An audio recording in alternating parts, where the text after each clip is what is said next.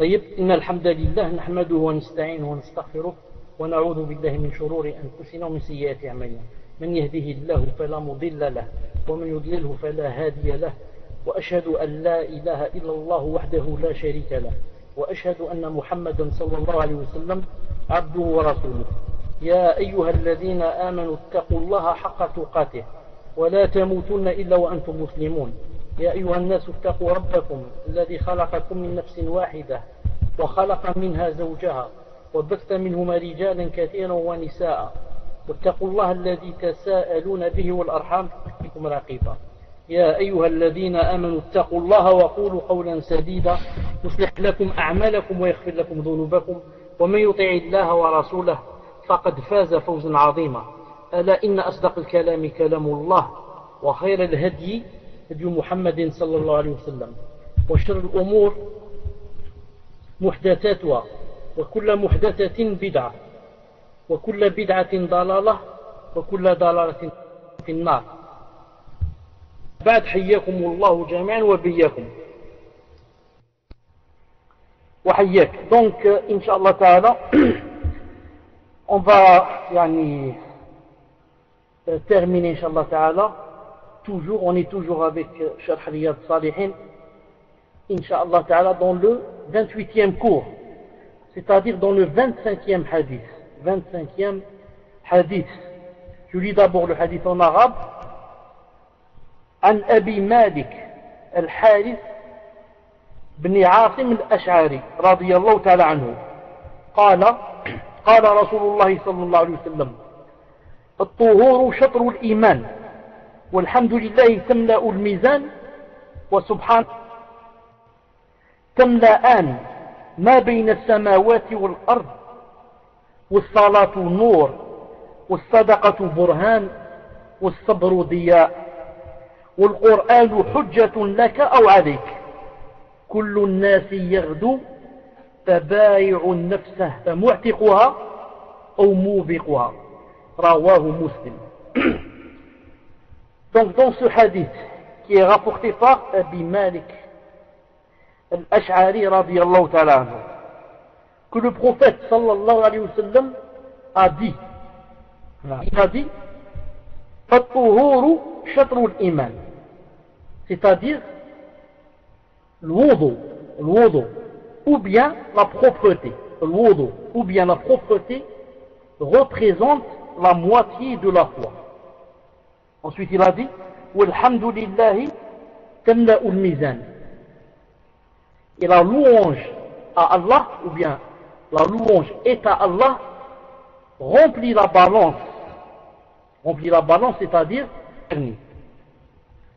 Wa subhanallah walhamdulillah tamla'ani ma bayna samawati wal ard.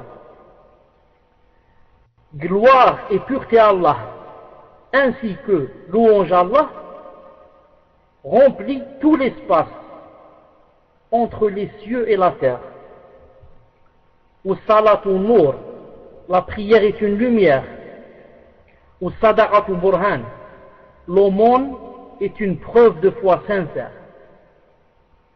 Ou sabru la patience est une clé.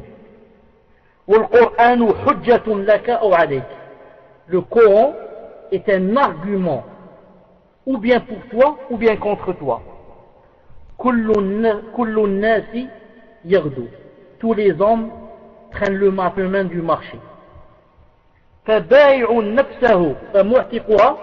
Il en est qui vont son âme à Allah et qui ainsi la franchit et il en est qui condamne qui condamne leur âme à sa perte éternelle en la vendant au diable, rapporté par Muslim. Donc vous remarquez que ce hadith est rapporté, ce hadith est rapporté par quelqu'un, un sahabi radiallahu ta'ala qui s'appelle Abu Malik al-Ash'ari. On va donner comme ça succinctement très vite yani un autre biographie. Donc, Abu Malik al-Ash'ari radiallahu ta'ala est un sahabi. Est un. C'est quelqu'un du Yémen. C'est quelqu'un du Yémen. Hein? ici on dit l'Ash'ari, faisant partie d'une tribu là-bas, il faut bien ne pas confondre entre celui-là, Abu Malik al-Ash'ari, qui est un compagnon, et le grand compagnon, Abu Moussa al-Ash'ari. Celui-là, c'est un autre, ce n'est pas Ash'ari, même s'ils sont de la même origine. Mais celui-là, c'est Abu Malik al-Ash'ari. J'ai dit qu'il a, euh, qu'il est resté un certain temps avec le prophète sallallahu alayhi wa sallam, et que euh, parmi ceux qui ont rapporté de lui, il y a l'imam muslim. L'imam muslim a rapporté quelques hadiths de lui. Et il y a aussi Abu Daoud, et il y a Nasa'i, et il y a Ibn Majah. Les quatre ont rapporté de ce compagnon quelques hadiths. Et lui-même, lui-même, Abu Malik, celui-là d'Ash'ari radiallahu ta'ala a rapporté pas mal de hadiths. Comme lorsqu'il a dit, سمعت رسول الله صلى الله عليه وسلم يقول ليشربن ناس من أمة الخمر يسمونها بغير اسمها قال الشيخ رحمه الله يعني الشيخ ناصر حديث صحيح C'est lui qui a donc rapporté le hadith de des gens vont boire, vont boire l'alcool, des gens de ma tribu vont, vont boire l'alcool, mais ils ne vont pas l'appeler avec son nom. Ils ne vont pas dire euh, khamr. Ils vont dire d'autres choses, naam. Ils vont l'appeler d'autres choses. Ils vont dire c'est juste la bière, c'est, c'est, euh, comment ils disent le mashroubat al Il lui change de nom, il lui change de nom. C'est lui qui a rapporté ce hadith. Et il a rapporté aussi euh, le hadith, un autre hadith, où le prophète sallallahu alayhi wa sallam dit que sa nation, sa nation ne délaissera pas. Entre autres, entre autres quoi Entre autres que yani, euh, celle qui va pleurer et va griffer ses joues et va hurler crier quand il y a un mort, que celle-là, Allah va lui mettre des habits de qatiran avec un certain produit et qui va la brûler dans le feu. C'est lui aussi qui a rapporté un hadith sahih aussi où le prophète sallallahu alayhi wa sallam a dit que dans le paradis il y a des, des chambres ou des pièces qui yani, on peut voir son apparence on peut voir leur apparence comme on peut voir des choses qui sont cachées. Et il a dit, ces, chambres-là, ou bien ces pièces-là sont préparées pour ceux qui nourrissent les gens. Ceux qui nourrissent et ceux qui font beaucoup le siyam et ceux qui prient la nuit quand les gens sont en train de dormir. Avant de mourir, Abu Malik al-Ash'ari avant de mourir, quand les gens se sont mis à son chevet, à son chevet il a dit Ya ma'ashar al-ash'ariyin, ô vous, al et quand je dis al ici, c'est pas l'ash'aira, bien sûr. Ça veut dire les, de la tribu du Yémen. Il a dit que celui d'entre vous qui est présent, alors rapporte à celui qui est absent que j'ai entendu le prophète sallallahu alayhi wa sallam dire dunya j'ai entendu le prophète dire que le sucré, le sucré, la, la saveur de cette dunya, c'est la mer, c'est l'amertume et la mer de quoi? De l'akhira, de l'au-delà. Wa dunya, et ce qui est amer dans cette vie, c'est c'est le sucré de quoi? De l'au-delà. Vous avez compris que on ne peut pas joindre entre deux fois le sucré ou bien deux fois la mer. Tu ne peux pas vivre ici le paradis et quand tu meurs, il y a le paradis. Ni l'amertume et les chagrins, etc. Et Yom al l'amertume et les chagrins, etc. Il n'y a pas. Ou bien tu as ici l'amertume, les chagrins, etc. Et Yom al c'est le paradis qui t'attend. Ou bien le contraire ou bien tu as ici tout ce que tu veux, tous les plaisirs, tu as soulevé tous tes plaisirs, toutes tes tentations, tu exauces tous tes souhaits, et Yom al billah, c'est quoi C'est Jahannama qui attend. Rappelez-vous le hadith du prophète sallallahu alayhi wa sallam que vous connaissez tous. La dunya, c'est quoi? C'est la prison du croyant. Et c'est quoi? C'est le paradis du kafir. Donc tu choisis toi entre que tu sois ici en prison et Yom al paradis, ou bien le paradis ici et Yom al la prison. Tu n'es de paradis, c'est impossible. Non, tu dois choisir, tu dois avoir obligatoirement une prison et un paradis. Mais c'est à toi de choisir. Tu veux le, euh, le paradis ici ou quand tu meurs. Et la prison, tu la veux ici ou bien quand tu meurs. Toute personne doit passer par l'une des deux. Et c'est à nous de choisir il muwafaq, celui que Allah subhanahu wa ta'ala a aidé, guidé, c'est celui qui choisit quoi? Il choisit ici la prison, et demain quand il meurt, c'est le paradis qui l'attend, subhanahu wa ta'ala. Ensuite, ce sahabi radiallahu ta'ala est mort pendant le radiallahu ta'ala Il est mort pendant le califat de Omar ibn al-Khattab radiallahu ta'ala. Et certains rapportent qu'il est mort. Il est mort le même jour, il a été poignardé, poignardé. Il est mort le même jour que Mu'ad ibn Jabal Ubaida. Ou Abu Ubaida ibn Jarrah, que tout le monde connaît, radiallahu ta'ala anhuma. Ceux-là sont morts le même jour. C'était l'an 18 de l'Égypte l'an 18 de l'Égypte. Maintenant, Inch'Allah Ta'ala, chez moi ici, c'est Salat al Je vais faire la Salat, Inch'Allah Ta'ala, et je vais revenir pour expliquer le hadith, Inch'Allah Ta'ala, avec yani, des détails et ce qu'il comporte comme intérêt. Vous, vous, vous allez profiter, Inch'Allah Ta'ala, vous, de préparer vos questions, Ta'ala. Après avoir terminé, on commence les questions. On ne va pas perdre de temps bi'idnillahi subhanahu wa ta'ala. نعم. Donc euh, d'ici là, inshallah ta'ala, subhanak wa bihamdik. Ashhadu an la ilaha illa ant. Astaghfiruka atubu ilayk. Assalamu alaikum wa rahmatullahi wa barakatuh. Donc, Inch'Allah on va continuer.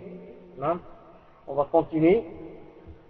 Donc, le prophète sallallahu alayhi wa sallam a dit et toi, musulman, Inch'Allah Ta'ala, chaque fois que j'explique quelque chose, tu, tu mets le, qui a un rapport avec le cours du hadith, tu l'affiches. Seulement ce que je suis en train d'expliquer. Donc le prophète a dit, iman.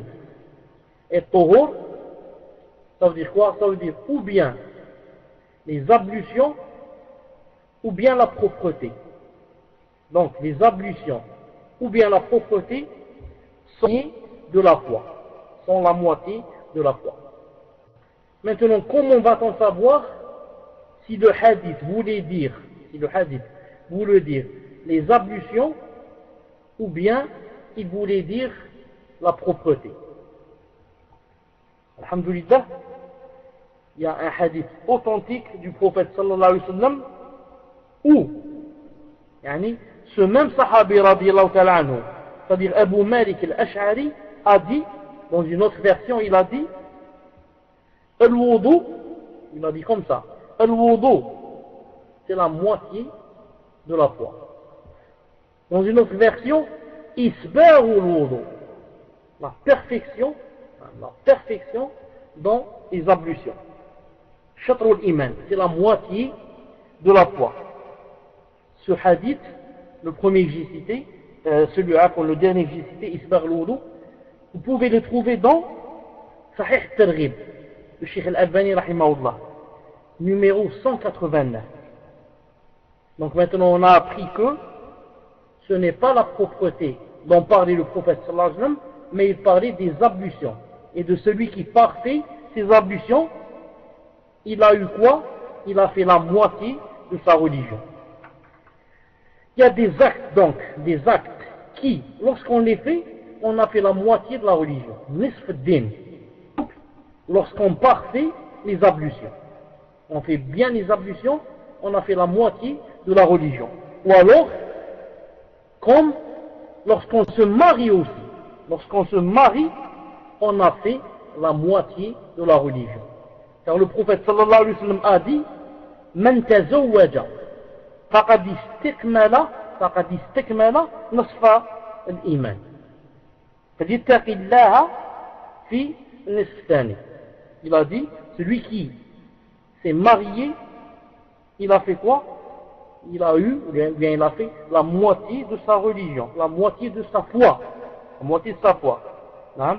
Alors qu'il craigne Allah dans la moitié d'un hadith qui est bon, Hassan, qui se trouve dans Sahih al-Jami' de Sheikh al-Albani sur le numéro 6100, 6148.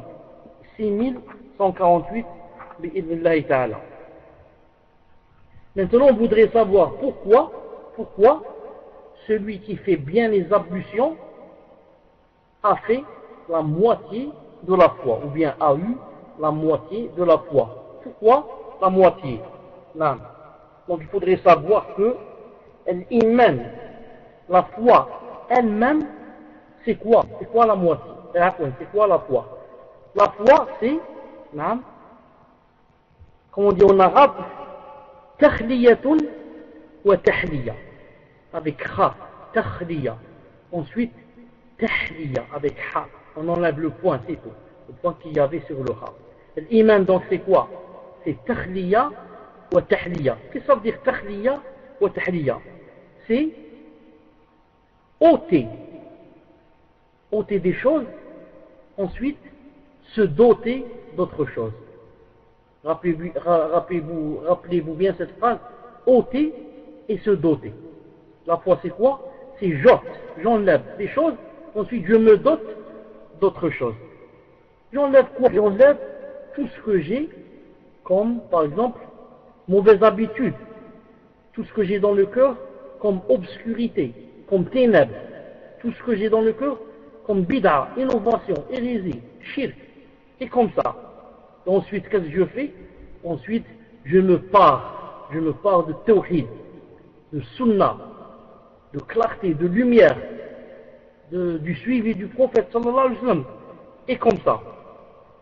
Et cette base-là, et cette règle qui est en arabe tahliya, ensuite tahliya, c'est-à-dire ôter, et ensuite se doter ou se parer, se trouve par exemple dans le verset والله تعالى dit dans le Coran فمن يكفر بالطاغوت الله فقد استمسك بالعروة الوثقى l'enfissement là ou l'enseignement العليم quiconque mécroit aux rebelles et croit en Allah a, a ainsi ou la a saisi l'once la plus solide le Baqarah 256 quiconque mécroit aux rebelles et croit en Allah a saisi l'once la plus solide donc pour saisir l'once la plus solide, et bien sûr la foi.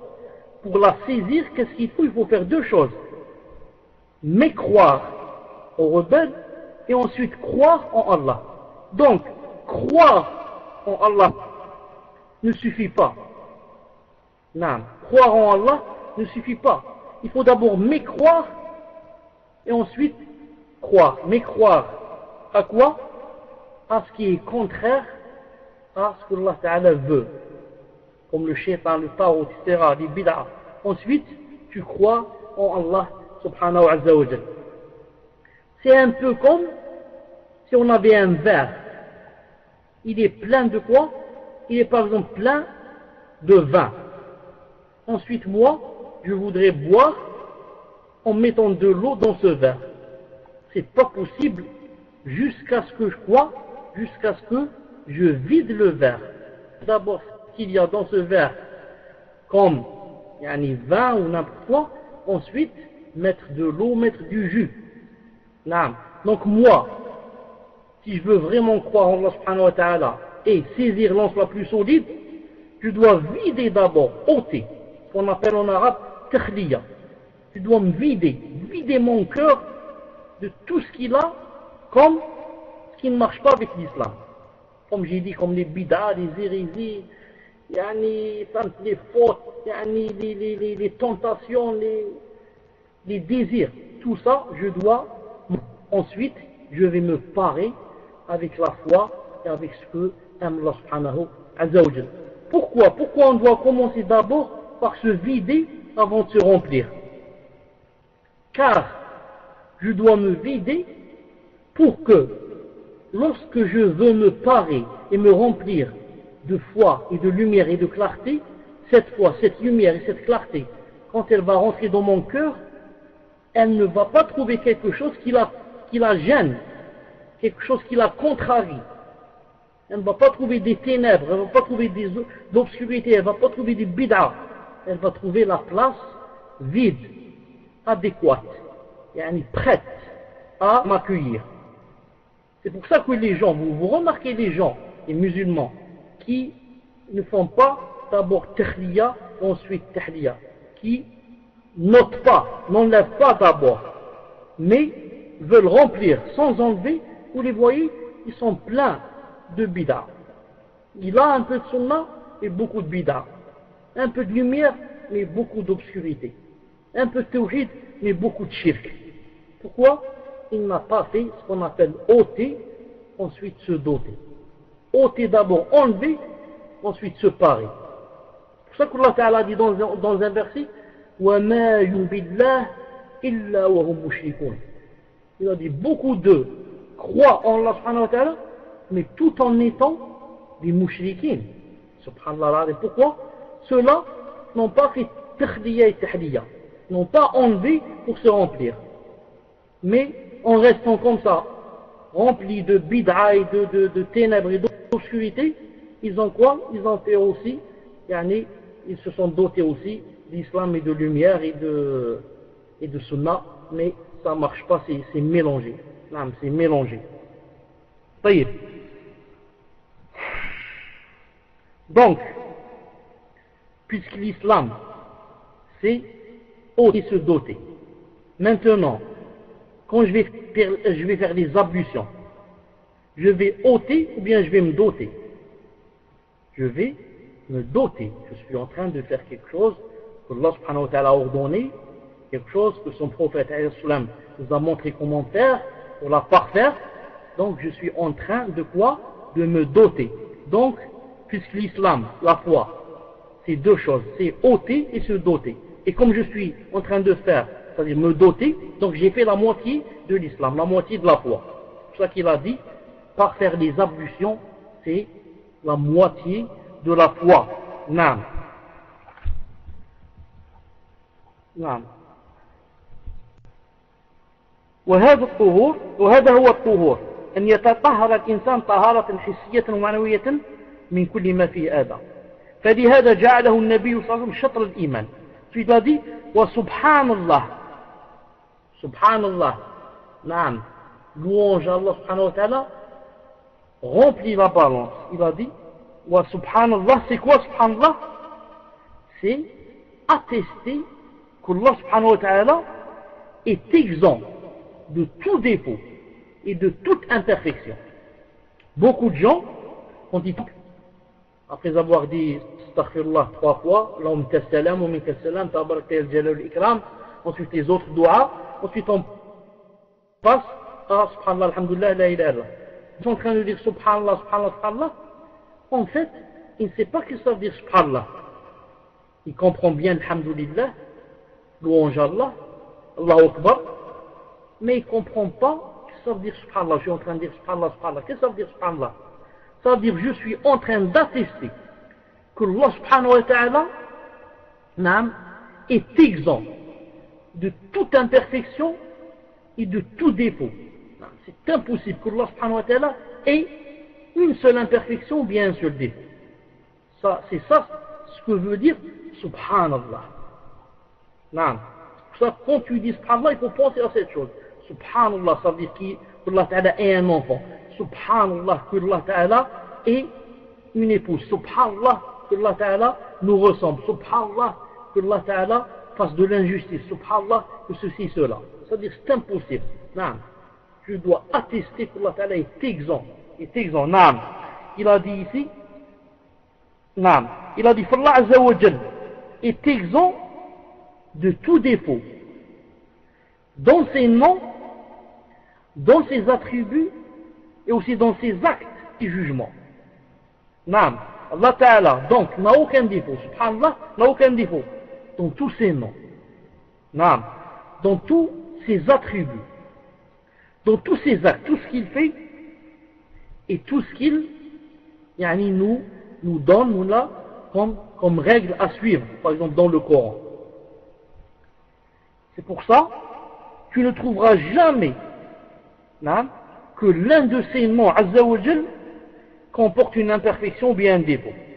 C'est pour ça qu'il a dit dans le Coran, dans sorte Araf 180, il a dit وَلِلَّهِ الْأَسْمَاءُ الْحُسْنَى À Allah appartiennent les plus beaux noms. À Allah appartiennent les plus beaux noms.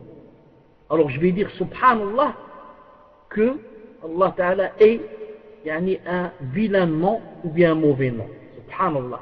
Allah Ta'ala est exempt de cela.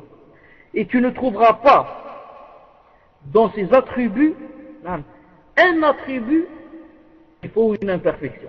C'est pour ça qu'Allah Ta'ala a dit وَلِلَّهِ الْمَثَلُ الْأَعْلَى وَلِلَّهِ الْمَثَلُ الْأَعْلَى C'est-à-dire, à Allah revient le qualificatif suprême, mathalul ala.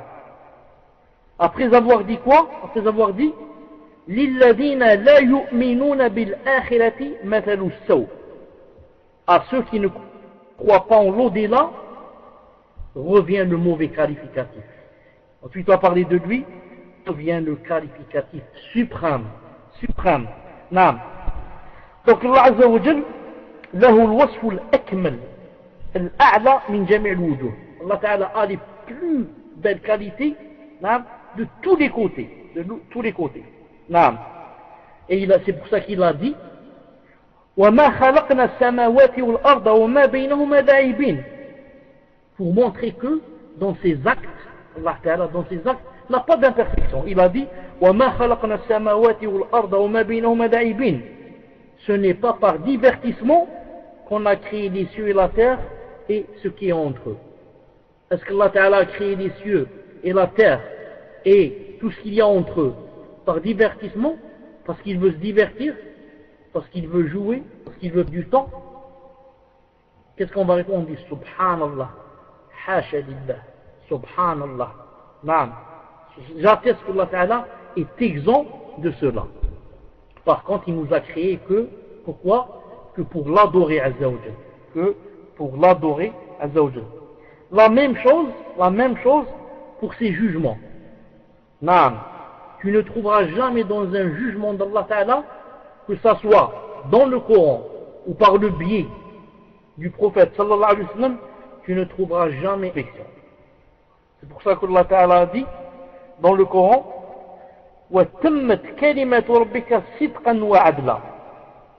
et la parole de ton Seigneur s'est accomplie en toute vérité et équité.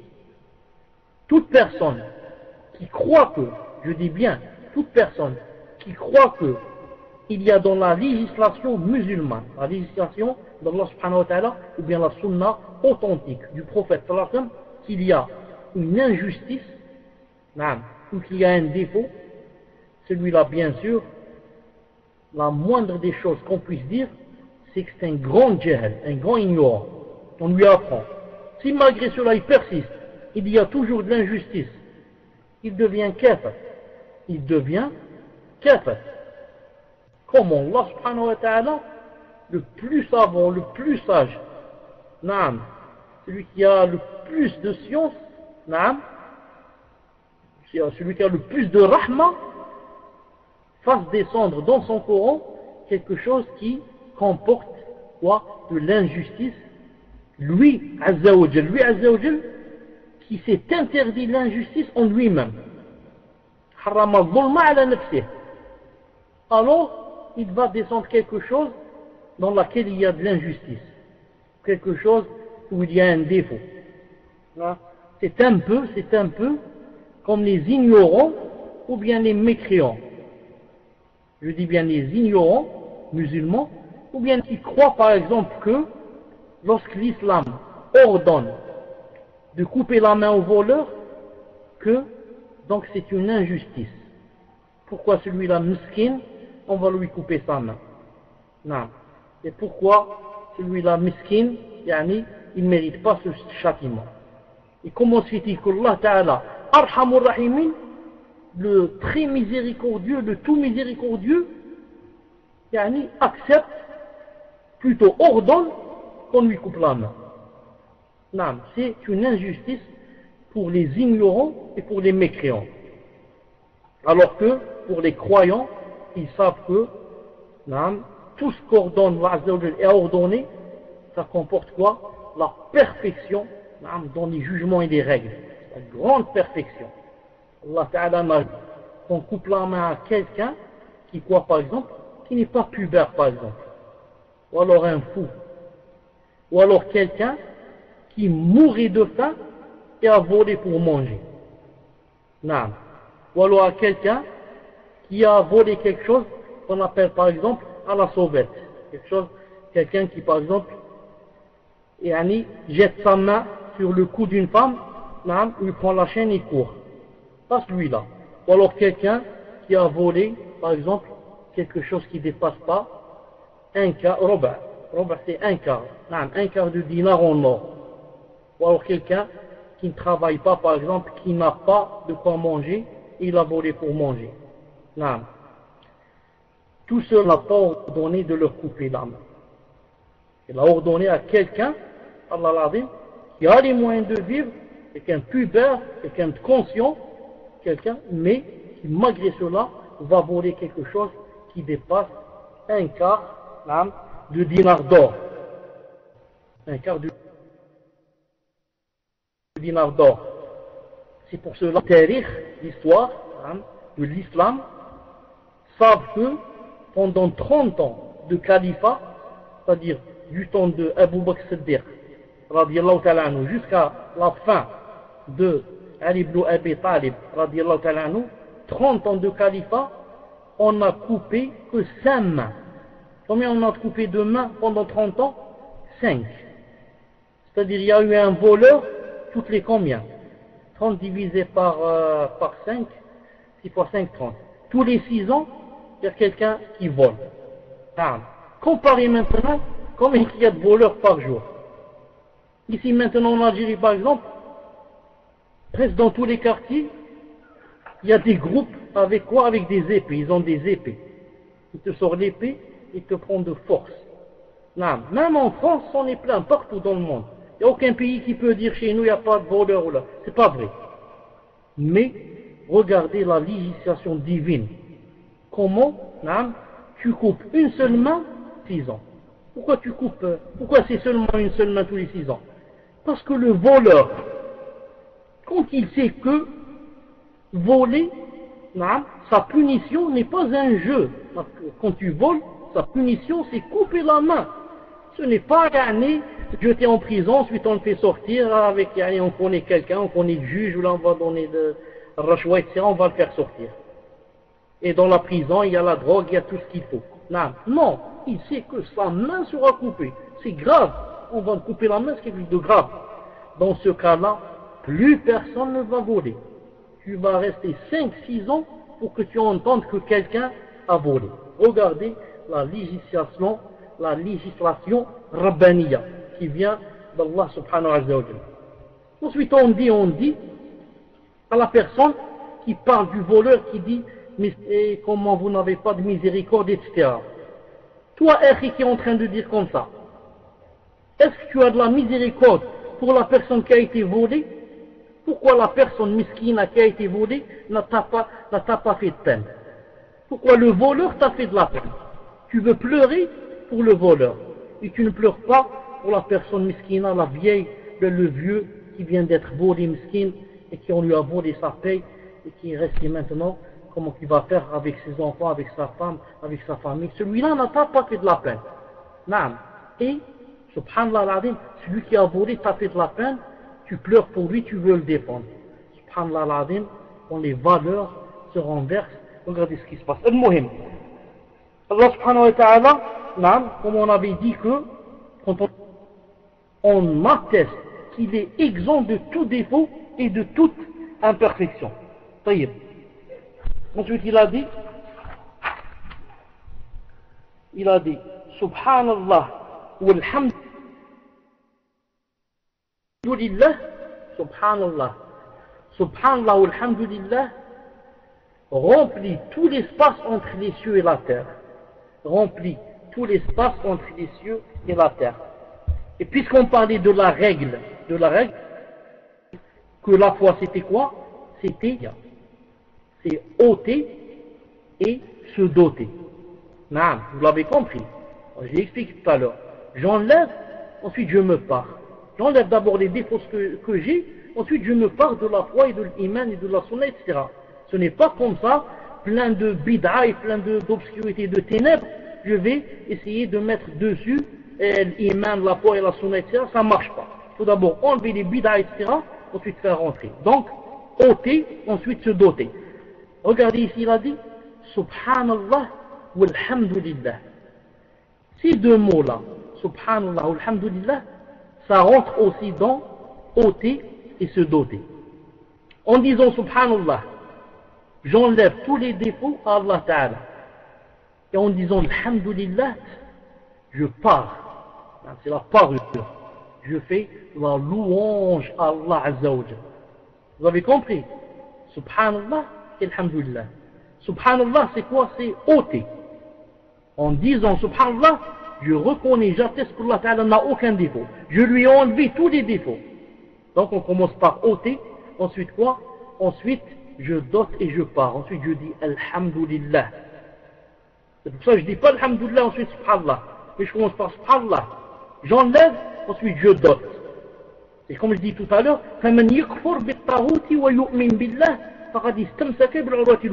Il faut d'abord mécroire au tarout et ensuite croire en Allah ta'ala. Tu dois d'abord dire La ilaha illallah. D'abord là, il n'y a pas, j'enlève, j'enlève toutes les fausses divinités pour dire que, sauf, donc je dote ici, je pars, sauf Allah Ta'ala, l'Wahid, qui mérite l'adoration. Si tu dis seulement Allah, ça ne suffit pas. Il faut dire d'abord qu'il n'y a pas, il n'y a pas de fausses, des, de fausses dieux, de faux dieux, point, et de fausses déesses, il n'y a pas. Et ensuite, on va dire il y a le Dieu qui mérite l'adoration. Ceux qui ne veulent pas enlever les faux dieux, ça ne compte pas, ça ne suffit pas de dire il y a un Dieu, il y a un Dieu qui, mérite l'adoration. Il y a un Dieu, d'accord. Mais toi, tu es en train, toujours en train de reconnaître qu'il y a aussi de, faux dieux, qu'il n'y a pas. Non, je me désavoue des faux dieux. Je me désavoue des, des fausses divinités. Ensuite, je reconnais qu'il y a un Dieu, un seul, qui mérite, qui mérite d'être adoré.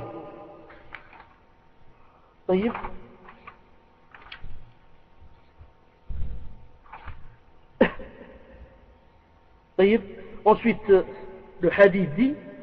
As-salatu nour. C'est-à-dire la prière est une lumière. La prière est une lumière.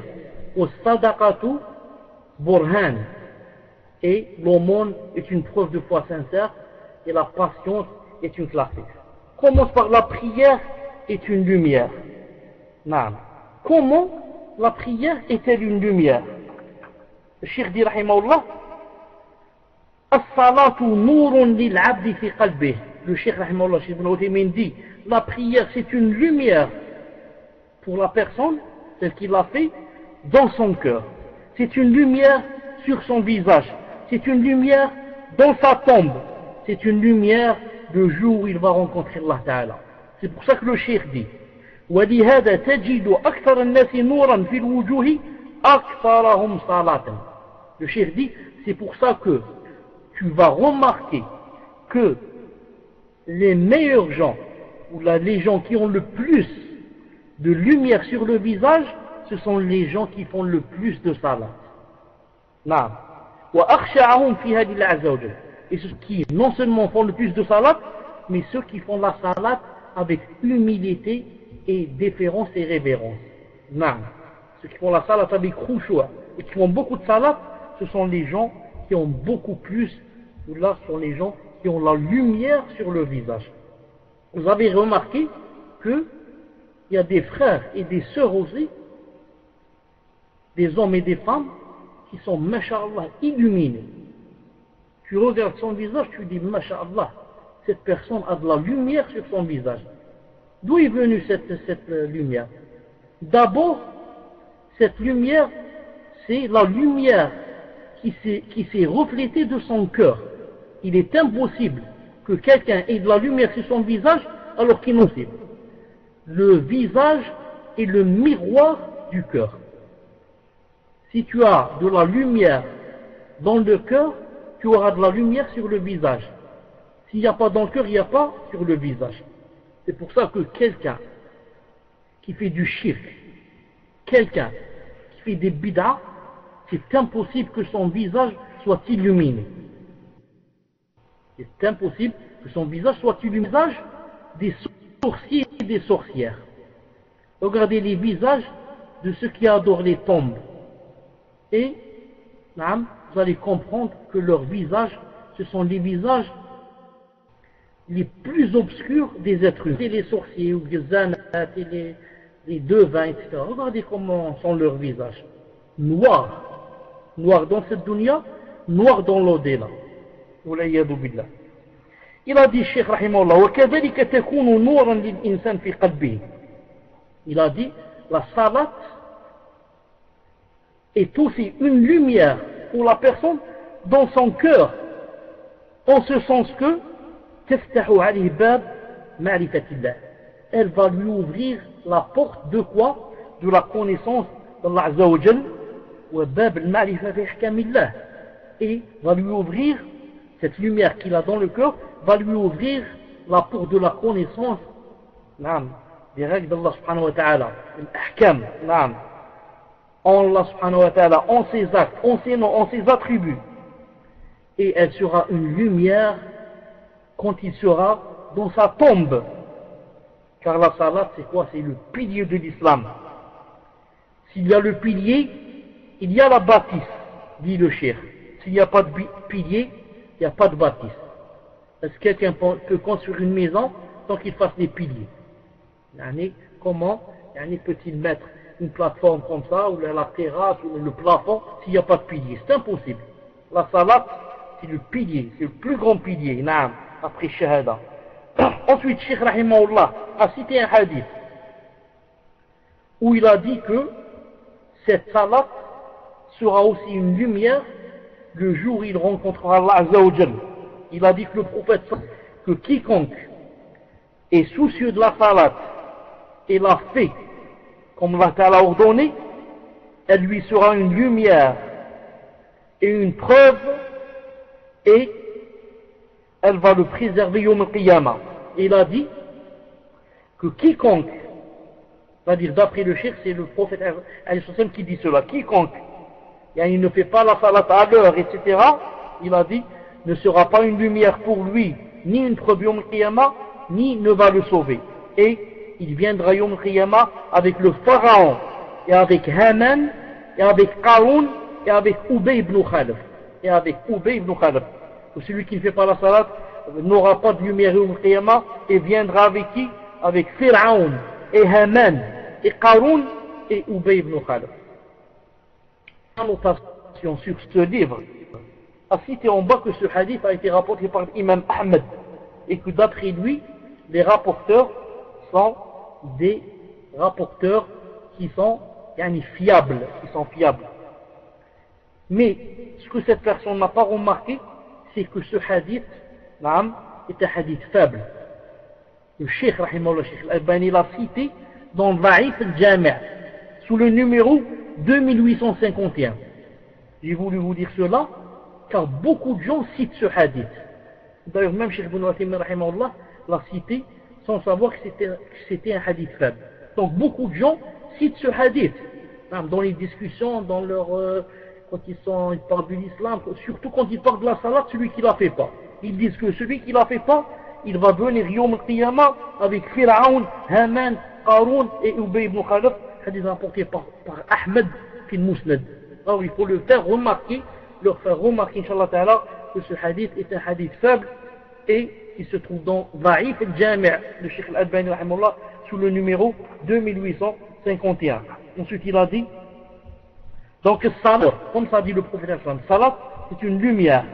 Il a dit, والصبر ضياء والصبر ضياء Quant à la passion, c'est quoi C'est dhiya'un. C'est quoi dhiya'un en français C'est yani, une clarté. Une clarté. La, prière, est une lumière. Quant à, quant à la passion, c'est une clarté. On va revenir à l'aumône, inshallah ta'ala. La différence entre la lumière et la clarté, c'est que la lumière contient de la chaleur, alors que la clarté ne contient pas de chaleur. La lumière, nam, fait un mot. c'est le contraire, c'est le contraire. La lumière, c'est seulement de la lumière, elle contient quoi ça, contient de la chaleur. Allah Ta'ala dit dans le Coran, هو الذي جعل الشمس ضياء والقمر نورا يونس 5 هو الذي جعل الشمس c'est lui qui a fait du soleil une clarté et de la lune une lumière. Donc, le soleil, c'est quoi? C'est une clarté. Et la lune, c'est quoi? Pas une clarté, c'est une lumière. Et la différence entre les deux, c'est que la clarté, c'est une lumière qui contient de la chaleur.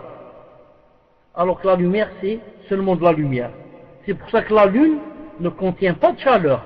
Est-ce que quelqu'un qui se met sous la lune, qui va rester toute la nuit, il va dire j'ai chaud Ou cette lune m'a rendu la tête chaude. C'est pas possible. Ça contient seulement de la lumière. Mais le soleil, en contenant de la lumière, il contient aussi autre chose. C'est quoi? C'est la clarté. C'est-à-dire qu'il contient la chaleur. La chaleur. Donc, en parlant du sabre, le sabre, c'est quoi? C'est dhiya. Ça veut dire, c'est aussi une lumière comme la salat, mais il contient aussi quoi? Il contient une chaleur. Pourquoi? Car la personne qui va patienter, nam, à part que Allah Ta'ala va lui donner une lumière qui va l'aider, vous avez remarqué que tous ceux qui patientent, Allah Ta'ala les aide, à condition qu'ils patientent pour Allah Ta'ala il n'aurait pas patienté. Peut-être même qu'il se serait jeté du, du balcon. Mais pour Allah qui a interdit cette chose, qui a demandé de patienter, je vais patienter dans cette grande épreuve qui m'est parvenue et qui est tombée sur moi. Je vais patienter. Donc, en faisant ainsi et en réagissant ainsi, Allah va te donner une lumière dans ton cœur qui va t'aider, qui va t'aider. Et cette lumière qui va t'aider, c'est une clarté. C'est pour ça que ça contient de la lumière et ça contient aussi, de la chaleur. Pourquoi? Parce que ton cœur même est chagriné. Tu sens yani, quelque chose qui, qui yani, quelque chose qui t'étreint, qui t'étreint. Tu es angoissé. Tu as quelque chose qui brûle dans ton cœur. Tu as cette chaleur. C'est pour ça qu'il a dit que quoi? Que la patience était une clarté. Il n'a pas dit que la patience était une lumière. Il a dit burhan. Et l'aumône est une preuve de la sincérité. L'aumône est une preuve de foi sincère. Pourquoi? Parce que, comme a dit Cheikh Issa il a dit, celui qui donne l'aumône, ou bien pour les pauvres, ou bien pour les intérêts généraux, comme les hôpitaux, etc., ou bien pour construire des mosquées. Il a dit ça, c'est une preuve que quoi? Qu'il est sincère dans sa foi. Pourquoi? Il a dit parce que tout le monde aime quoi? Aime l'argent et aime les biens. Et la personne de nature, elle est quoi? Elle est avare. Donc, si maintenant quelqu'un va donner subhanallah la chose qu'il aime, qu'il aime le plus, la chose derrière laquelle il ne cesse de courir. Ensuite, quand il l'a eu, il va la donner ou bien il va donner d'elle une part pour les pauvres, pour euh, la mosquée, pour. Donc ceci est une preuve de quoi? Ceci est une preuve qu'il a vraiment de la foi et qu'il est sincère. Car l'autre ne va pas donner. Le monafir ne va pas donner. le monafir, il va dire dans son cœur pourquoi je vais donner et pour qui je vais donner. Il, n'a pas dans son cœur que Allah nous a ordonné de donner et que celui qui donne voit Allah comment il va le récompenser dans cette vie, dans l'au-delà. Le monafik n'a pas ça dans sa tête, ni dans son cœur. Non. Tandis que le croyant pense à ces choses-là. Des fois, il ne veut pas donner, ensuite il donne, yani, même si quoi? Même s'il s'efforce. Quelqu'un va dire, est-ce qu'en s'efforçant pour donner, on va avoir des récompenses? On va dire, non seulement tu vas avoir des récompenses, mais peut-être, peut-être que tu peux même avoir plus que celui qui ne s'est pas efforcé. Car toi, tu as fait deux choses. Tu as donné et tu t'es efforcé pour donner. Tandis que, yani comme ça, facilement. Facilement, il a donné. Mais toi, tu es avare. Ton neuf se dit, il ne faut pas donner. Pour mieux acheter un vêtement avec cet argent bien il a acheté telle chose pour les enfants, acheter je ne sais pas quoi. Non, et toi tu dis non, je donne fils billah.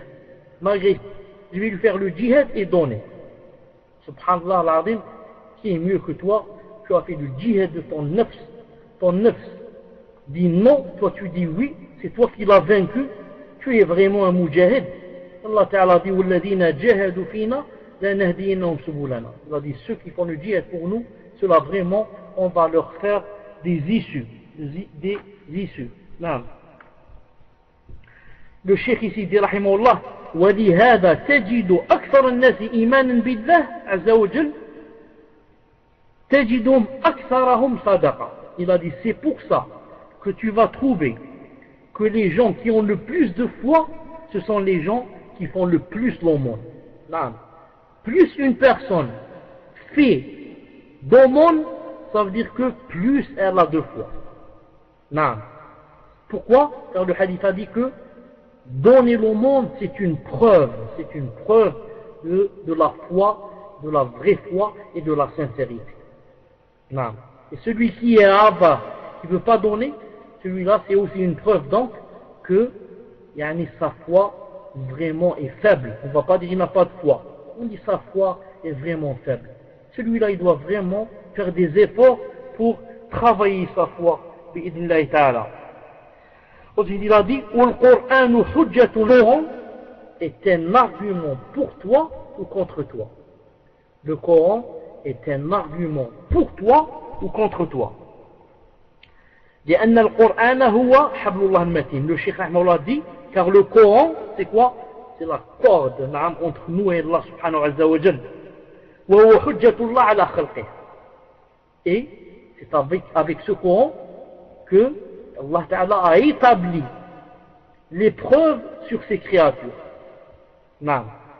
Donc le Coran, ou bien il est pour toi, si tu l'as lu, tu l'as médité, tu as fait la prière avec, tu l'as appris aux gens, tu as appliqué ce qu'il contient.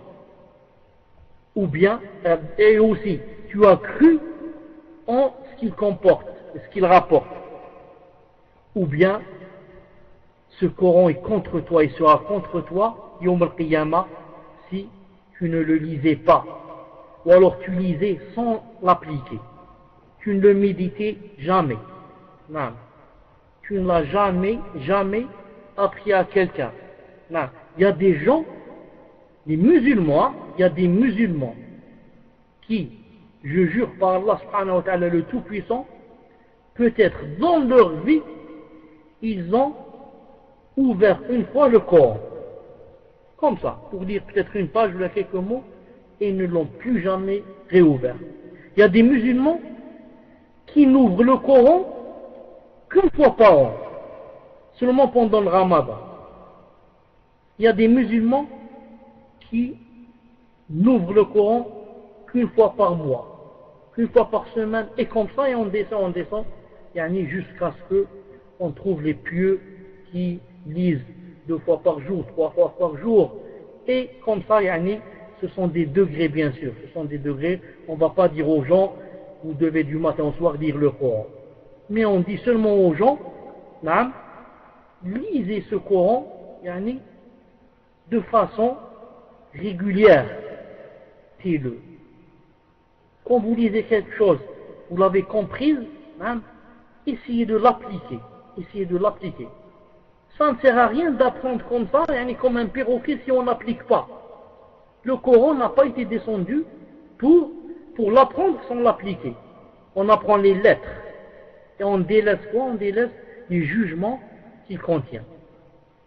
Mais Allah a fait descendre le Coran pour que tu le médites, pour que tu le comprennes et pour que tu appliques ce qu'il y a, que tu viens de lire. Non. C'est pour ça que Ibn al-Qayyim dit que les gens par rapport au Coran, par rapport à ceux qui exilent ou isolent le Coran, Il a dit des fois, on exile sa lecture, on ne lit jamais le Coran. D'autres exilent sa, méditation. Ils lisent, mais sans essayer de comprendre et de méditer. Comme les, des gens, beaucoup de gens lisent, et sans essayer de, comprendre. L'essentiel, il lit. du matin au soir, il dit de comprendre. Bien sûr, celui-là, il a, il a les récompenses de la lecture. Pour chaque harf, comme vous savez, chaque lettre, au moins 10 récompenses. Mais, ça ne suffit pas. Et il y a qui exile quoi Yani, le fait d'appliquer le Coran. Il lit, il comprend, mais il n'applique pas ce qu'il y a. La femme lit du matin au soir le verset du voile, mais elle ne se voile pas. Cette personne-là, dit du matin au soir que Allah a interdit de boire l'alcool. Et il boit. Et celui-là, il dit dans le Coran que Allah a interdit le vol. Et il vole. Et comme ça. Donc, le cheikh dit, Allah, le Coran, ou bien il est pour toi, ou bien il est contre toi. Le cheikh dit, Allah, il n'y a pas, il n'y a pas un rond au milieu il n'y a pas le, le Coran n'est ni pour moi ni contre toi. Il n'y a pas. Ou bien il est pour toi, ou bien il est contre toi. Chaque personne, chaque personne, le Coran est pour elle ou bien contre elle. Il n'y a pas le juste, il n'y a pas le milieu. S'il y avait le milieu, on aurait dit, Alhamdulillah. Moi, le Coran, s'il n'est pas pour moi, Alhamdulillah, il n'est pas contre moi. On dit non, justement non. Ou bien le Coran et moi je pense, que beaucoup de gens, peut-être y compris moi qui suis en train de parler, que le Coran est contre nous. Non, que le Coran est contre nous. Est-ce que nous, Yani, on lit vraiment le Coran comme il faut? Est-ce qu'on le médite?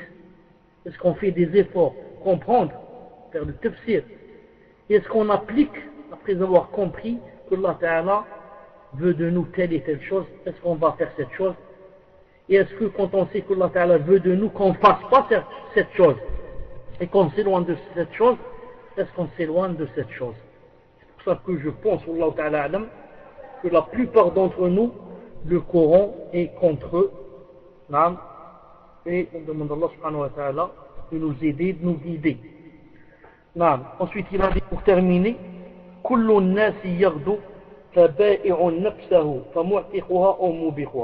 il a dit toutes les personnes ou bien tous les hommes yardo. C'est-à-dire le matin de bonne heure prennent pour aller quoi? Pour aller comme on dit comme on dit singulièrement pour aller pour aller gagner le pain. Celui-là il va à l'usine l'autre il va à la société l'autre il va à la ferme. Le prophète a dit tous les hommes le matin sortent de leur maison pour aller gagner le pain. Mais qu'est-ce qui se passe Mais avant cela, avant cela, je voudrais dire que Allah a dit dans le Coran, sur Al-An'am 60, il a dit وهو الذي يتوفاكم بالليل ويعلم ما جرحتم بالنهار ثم يبعثكم فيه c'est-à-dire et la nuit c'est lui Allah Azzawajal qui prend vos âmes. Et il sait ce que vous avez acquis pendant le jour. Puis il vous ressuscite le jour. Donc la nuit qu'est-ce qui se passe? La nuit Allah subhanahu wa ta'ala qu'est-ce qu'il fait? Il prend nos âmes. Vous savez que quand on s'endort, là, ne sont plus chez nous, mais nos âmes sont montées vers Allah subhanahu wa ta'ala. Plus nos âmes sont pures, plus elles se rapprochent d'Allah subhanahu wa ta'ala. Moins elles sont pures, plus elles sont éloignées d'Allah subhanahu. Les âmes les plus pures se rapprochent de lui. Les autres, yani, plus ou moins d'après ce qu'elles contiennent de pureté, ou alors d'impureté. C'est c'est pour ça que, yani, le matin quand on se réveille, qu'est-ce qu'on dit? Alhamdulillah alladhi ahyana ba'da an amatana. Alhamdulillah qu'Allah wa ta'ala nous ait ressuscité. Parce qu'on était mort. C'est pour ça que on dit que le dormir, c'est la petite mort. La grande mort, c'est quand on sera dans la tombe, mais le fait de dormir, c'est déjà une petite mort. Déjà, tu es mort, car Allah a pris ton âme. C'est pour ça qu'il dit dans le Coran, et la nuit, c'est lui qui prend vos âmes. Et il sait ce qu'on fait le jour. Ensuite, il a dit, puis il vous ressuscite le jour. C'est-à-dire le matin, ah, il te rend ton âme, il te ressuscite pour que tu te lèves. Ensuite, comme il, est dit dans le hadith, tu sors pour aller gagner ton bain. Non. Vous avez remarqué qu'Allah Ta'ala dans sorte le cas, en parlant des gens qui étaient dormis, qui, qui étaient endormis, qu'est-ce qu'il a dit ونقلبهم ذات اليمين وذات الشمال وكلبهم باسط ذراعيه بالواسط ونقلبهم et on les fait renverser sur le côté droit et sur le côté gauche pourquoi il a dit et on les fait renverser?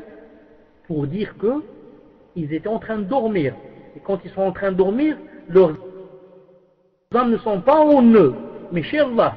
Le, côté droit qui fait retourner vers le côté gauche. Non. Il a dit maintenant, quand c'est le matin, Allah Ta'ala nous rend nos âmes et on va quitter la maison pour aller gagner le pain. Le Cheikh Rahimahullah dit quand c'est le matin et que les gens vont sortir pour aller vers le travail, il y a des gens qui vont vers le bien.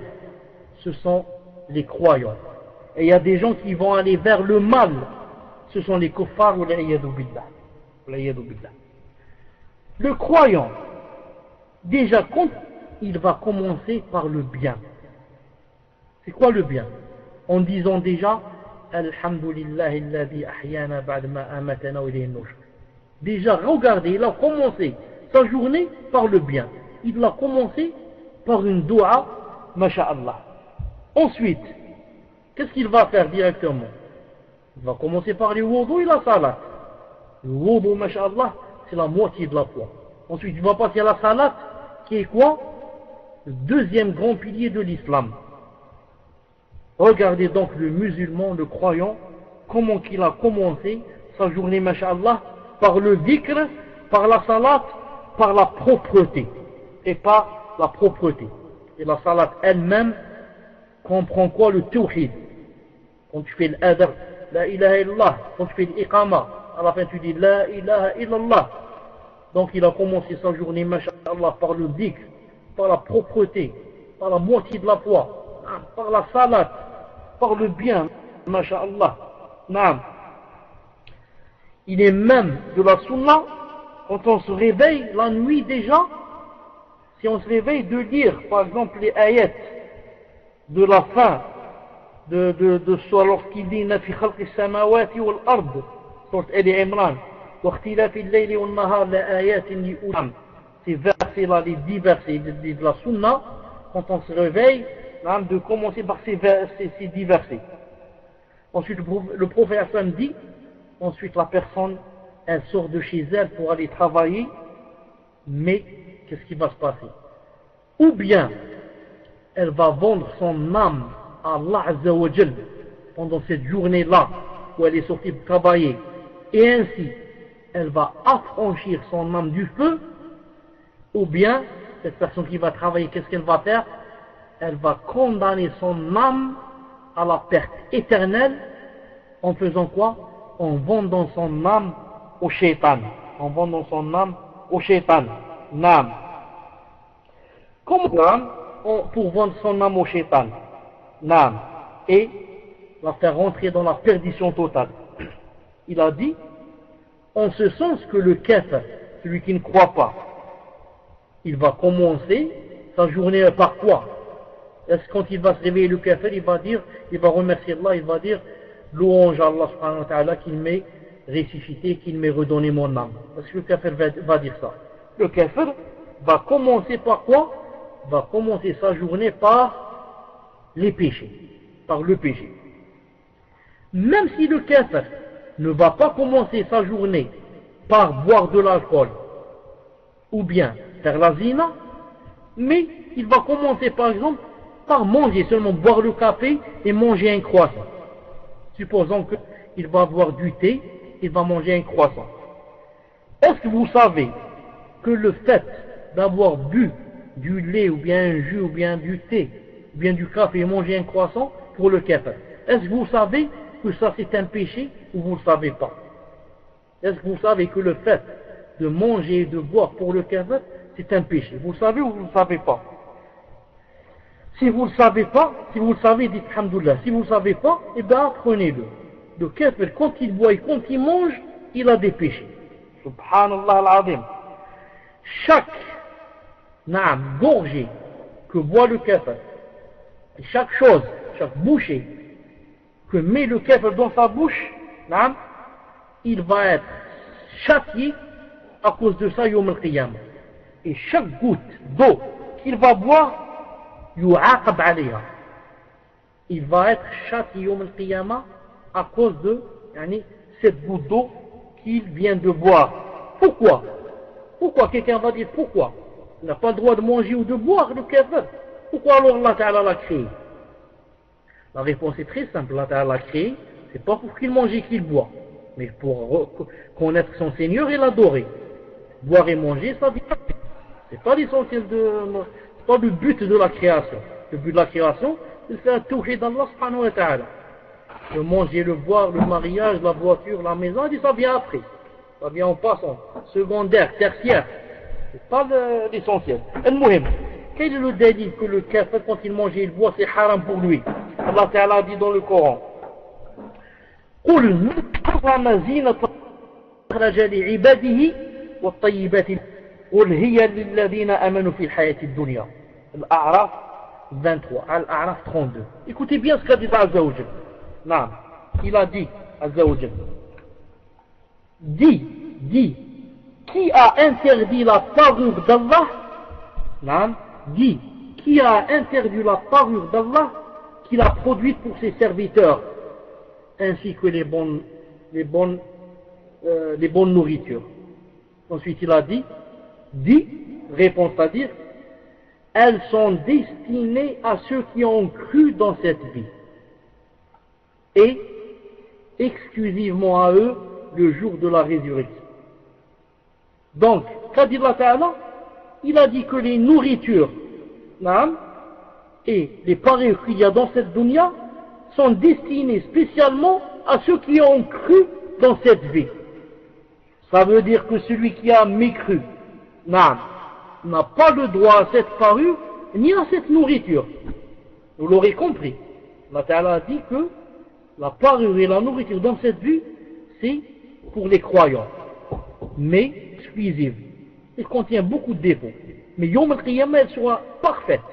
La nourriture et la, parure et tout ce que tu veux sera parfait Yom al Dans cette vie, c'est quelque chose qui contient un peu, il y a quelques défauts, mais c'est voulu, c'est voulu, pour que tu saches que tout ce qu'il y a dans cette vie ne peut être parfait. Mais la perfection, c'est dans la Jannah, Inch'Allah quand tu seras dans le paradis. Mais Allah Ta'ala a dit, a bien cité et montré que, dit, elles sont destinées à ceux qui ont cru dans cette vie. Ça veut dire que celui qui ne croit pas, en mangeant, en buvant et en se parant, il a fait des choses qui ne lui appartiennent pas, des choses qui appartiennent aux croyants, qui ont été destinées aux croyants pour qu'il adore Allah subhanahu wa ta'ala avec ces choses-là et comme récompense. Mais le croyant a profité les a pris lui aussi. Les a pris aussi. C'est pour ça que quand il y a la guerre sainte entre le croyant et le kafir, et que le kafir quand il est vaincu, le musulman lui prend ses biens, vous savez, il prend ses chevaux, il prend ses femmes, ses enfants, tout ça, ça rend ça s'appelle. Ça s'appelle le fey. Le fey, le butin. Et le fey, c'est quoi euh, Étymologiquement parlant, ça vient de, de quoi?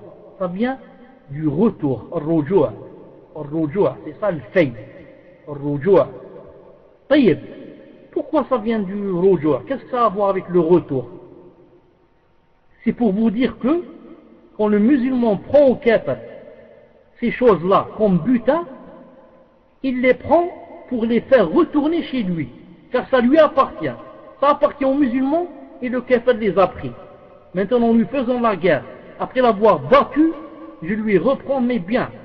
Toutes ces femmes-là, tous les enfants, tous les parures, les chevaux, tout ce qu'il possède, normalement ça, devait m'appartenir à moi, aux musulmans.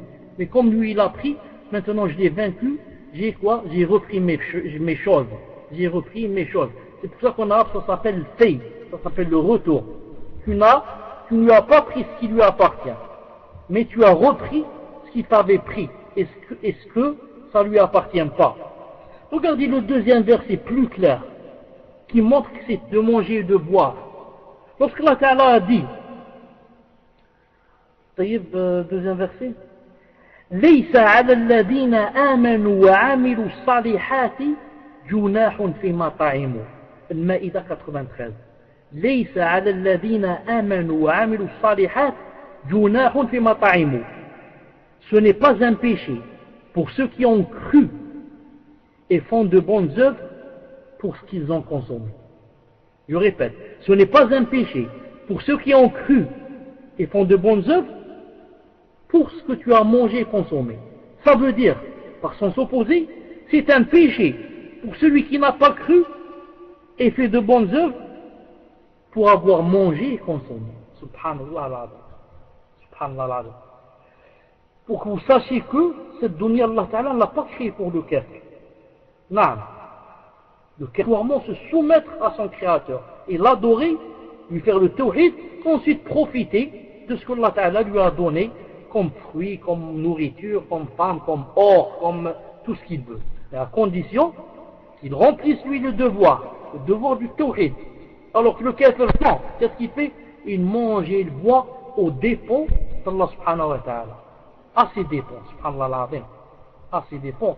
C'est pour ça qu'Allah Ta'ala dit dans le Coran والذين كفروا يتمتعون ويأكلون كما تأكل الأنعام والنار مثوى لهم Il a dit والذين كفروا et ceux qui ont mécru يأكلون mangent ويتمتعون et assouvissent leur plaisir نعم والذين كفروا يأكلون كما تأكل الأنعام comme mange des bestiaux subhanallah mais à la fin il a dit Et le feu sera leur éternelle demeure. Ils mangent comme les bestiaux. Est-ce que la bête, avant de manger, elle demande permission? Elle demande permission à quelqu'un? Est-ce que je peux manger? Tout ce qu'elle trouve devant elle, elle mange. La même chose de kafir. Il n'a pas demandé la permission pour manger. Et il n'a pas le droit de manger, mais il a mangé. Allah a dit, alors quand il mourra, il va voir ce qui l'attend Yom al-Qiyamah. Donc le kafir, billah, depuis déjà qu'il se lève et commence à manger, il est rentré déjà dans les péchés, et bien sûr, sans parler de ce qu'il va faire pendant toute la journée, loin, loin, loin, loin d'Allah subhanahu en le contrariant dans tout ce qu'il a ordonné, bien sûr. Donc celui-là, qu'est-ce qu'il fait? Il a jeté son âme, il l'a condamné à sa perte éternelle. Âme au shaitan ou billah. Donc les gens ne peuvent être que l'une des deux sortes. Ou bien tu vends ton âme pour Allah qui t'attend, ou bien tu vends ton âme pour le shaitan, et c'est l'enfer éternel qui t'attend. Voilà, Inch'Allah, ce que je voulais dire Dans ce hadith, Inch'Allah, si je dis quelque chose de juste, c'est Allah qui m'a aidé. Si j'ai dit quelque chose de faux, c'est de mon ignorance, c'est de mon shaitan. Allah Ta'ala me préserve et vous préserve. سبحانك اللهم وبحمدك أشهد أن لا إله إلا أنت أستغفرك وأتوب إليك On va commencer, Inch'Allah Ta'ala, les questions dans 5 minutes. Assalamu alaikum wa rahmatullah. Alhamdulillah, en section Europe, on approche les, les 100. Donc, Inch'Allah, je vais commencer à lire les questions, cher. Première question. Salam alaikum, cher. Je perçois le RSA. Le, RSA, cher, c'est le, minimum, euh, c'est un revenu minimum qui est donné par l'État en France. C'est une aide que donne l'État français pour ceux qui sont sans emploi. Il faut en contrepartie ne pas travailler. Si on essaye de monter sa boîte de vente, mais qu'il nous est difficile de déclarer en débutant, est-ce permis. Car l'État donne de l'argent et ils veulent, ils veulent que tu ne travailles pas en contrepartie. Mais s'il m'est impossible de faire autrement, pour débuter, est-ce permis? Est-ce que cet argent sera, halal? Et est-ce que je ne serai pas considéré comme un menteur devant Allah? En sachant qu'il est très difficile de travailler licitement en France. Barakallahu. Donc, cher, je ne sais pas si la première est, claire. Dites-moi si, c'est clair ou pas. Alhamdulillah. Deuxième question. Est-il permis aux femmes de porter des talons durant des mariages, sachant que nous sommes uniquement à la d'imiter les kafirat et sachant que cela n'est fait qu'une fois de temps en temps sans présence d'homme. Cela est-il permis? Ou y a-t-il une interdiction générale? Khayran. On est vraiment content que vous soyez de retour. Alhamdulillah. Question suivante. Salam alaikum wa rahmatullah, cher.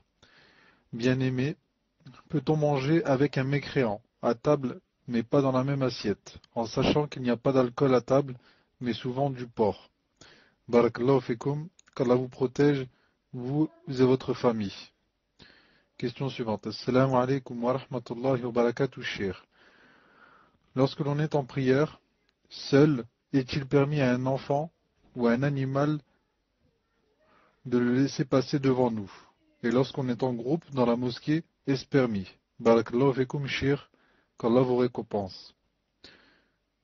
Alaikum wa rahmatullahi J'aimerais savoir s'il est autorisé de manger la viande des Juifs Si la réponse est oui, j'aimerais que vous m'expliquiez pourquoi on a le droit de manger la viande des Juifs, mais pas celle des Rawafid. Je vous aime, oh Allah ya qu'Allah vous préserve et vous accorde le fils d'Aous. Tfadal Sheikh.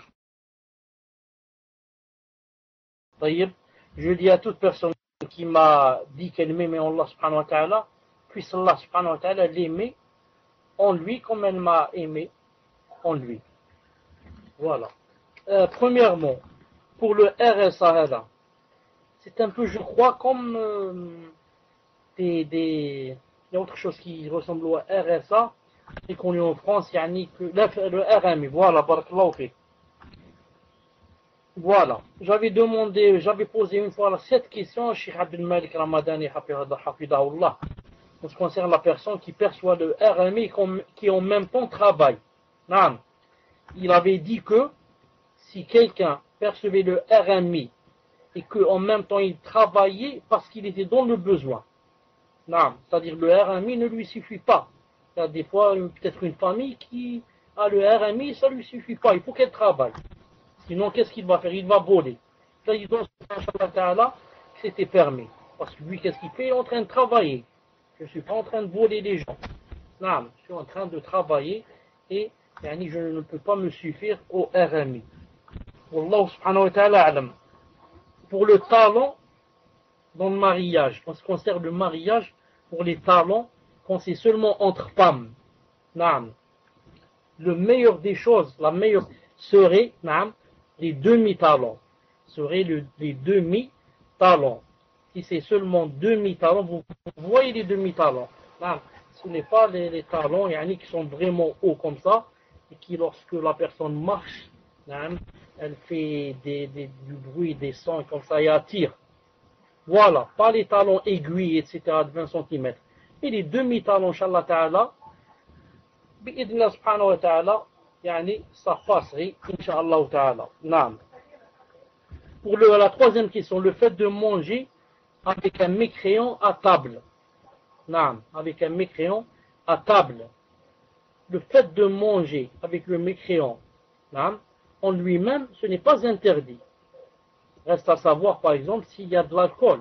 S'il y a de l'alcool, par exemple, on ne peut pas.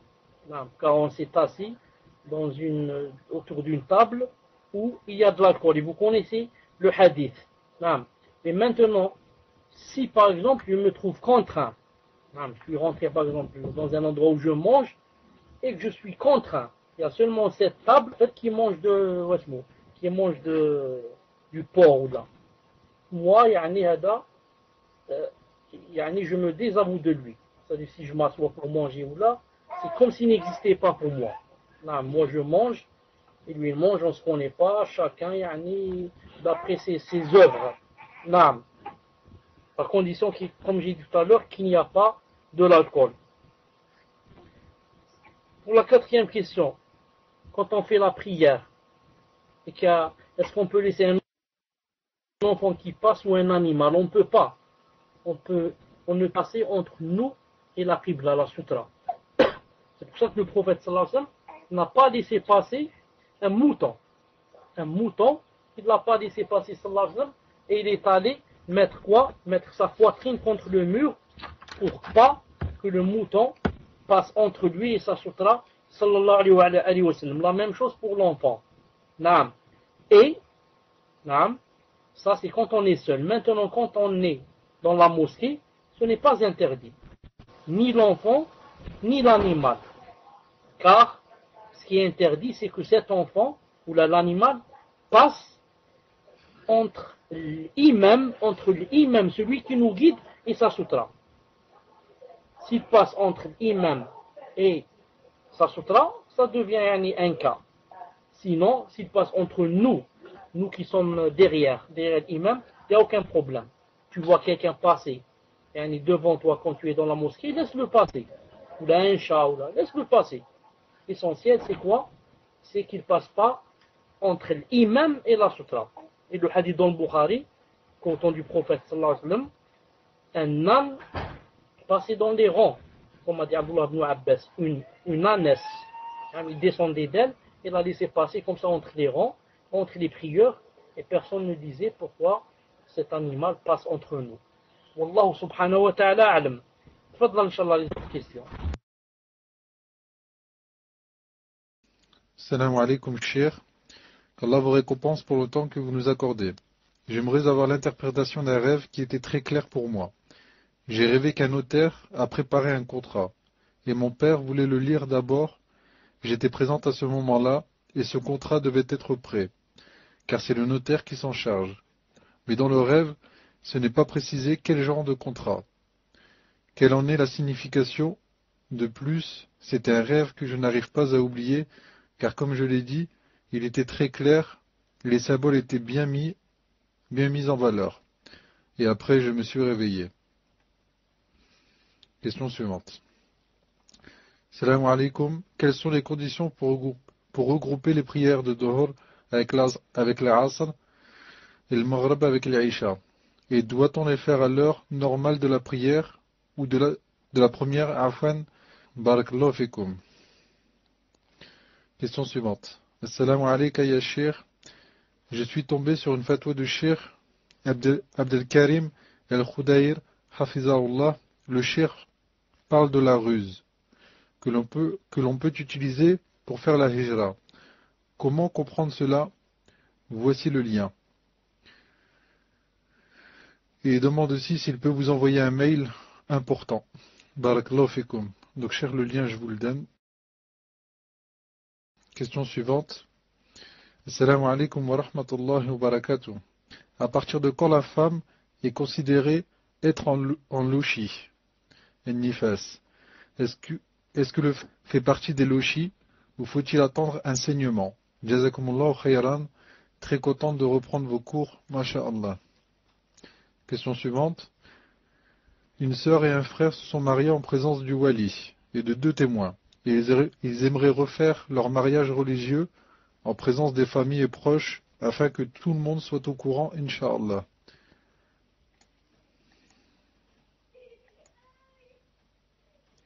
Y a-t-il une interdiction ou quelque chose le permettant Barakallahu Donc euh, le frère qui a posé la, question sur la hijra, le cher demande de faire un résumé, Inch'Allah, car euh, il va lui prendre beaucoup de temps. Tafadal le cher c'est exactement comme tu as dit. Pour le rêve du notaire, alhamdoulilah, si tu pouvais relire euh, cette question. Et pour euh, celle qui vient d'après la deuxième, je ne l'ai pas entendue. Non, je ne l'ai pas entendue car il y avait des coupures. Ensuite, pour les, euh, les lochis, aussi, non, aussi, pas bien entendu. Quant à refaire le mariage, je l'ai entendu. Donc je vais les relire, Inch'Allah assez rapidement. J'aimerais avoir l'interprétation d'un rêve qui était très clair pour moi. J'ai rêvé qu'un notaire a préparé un contrat et mon père voulait le lire d'abord. J'étais présente à ce moment-là et ce contrat devait être prêt, car c'est le notaire qui s'en charge. Mais dans le rêve, ce n'est pas précisé quel genre de contrat, quelle, quelle en est la signification? De plus, c'est un rêve que je n'arrive pas à oublier, car comme je l'ai dit, il était très clair les symboles étaient très clairs et bien mis en valeur. La seconde question, c'était sur les conditions du regroupement.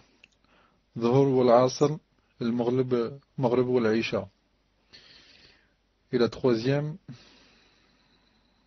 à partir de quand la femme est-elle considérée être en lochi Est-ce que le fait de perdre le liquide fait partie des lochis ou faut-il attendre un saignement? Voilà, cher.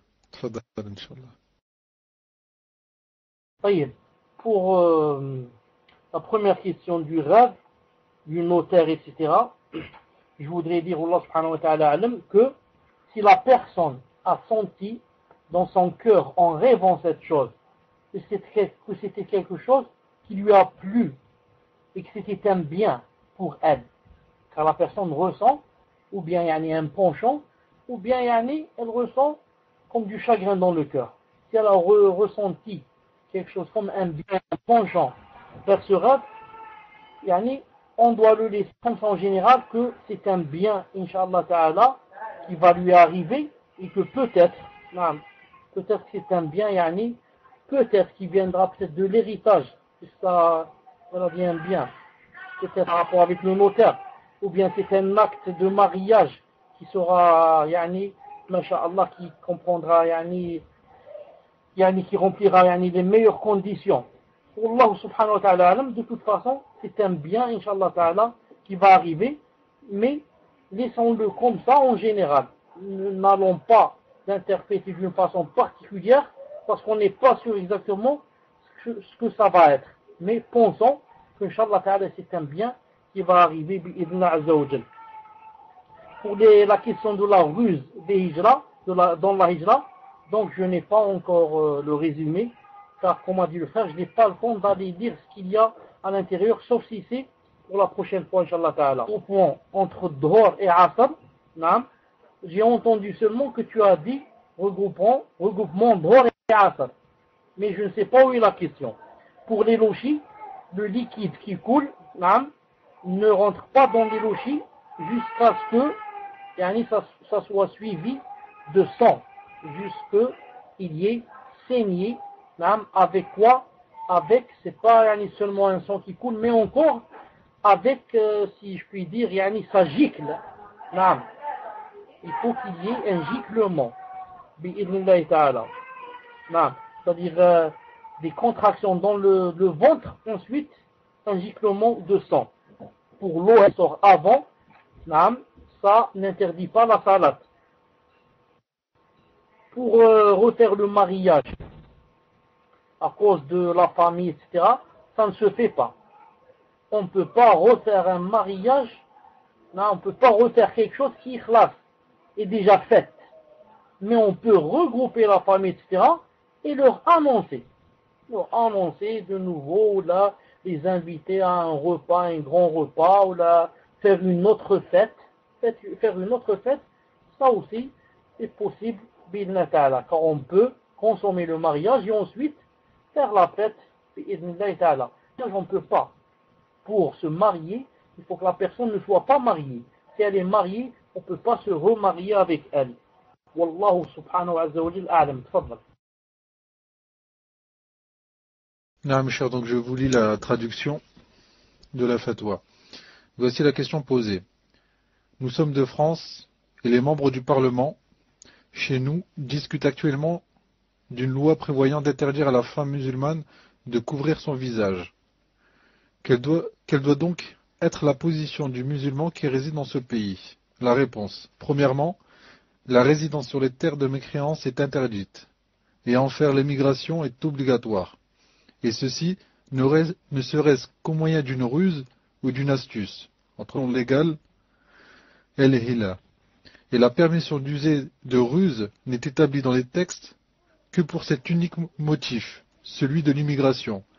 Quant à celui qui n'est pas capable de trouver une ruse ou une astuce, celui, qui est incapable, d'émigrer vers les terres en possession des musulmans, alors celui-ci fait, fait cas d'exception. Voilà, cher. Donc là, Inch'Allah où est la question? C'est quoi la question? Donc lui, dans sa question, il demandait euh, le cher parle, parle de la ruse que l'on peut utiliser pour faire la hijra. Comment comprendre cela? En fait, il n'a pas compris le sens de, de la ruse dans la fatwa. Tfadal, cher. C'est-à-dire, euh, supposons qu'une personne, il, soit, il lui soit interdit, par exemple, de quitter, par exemple, euh, la France vers un pays musulman. Là.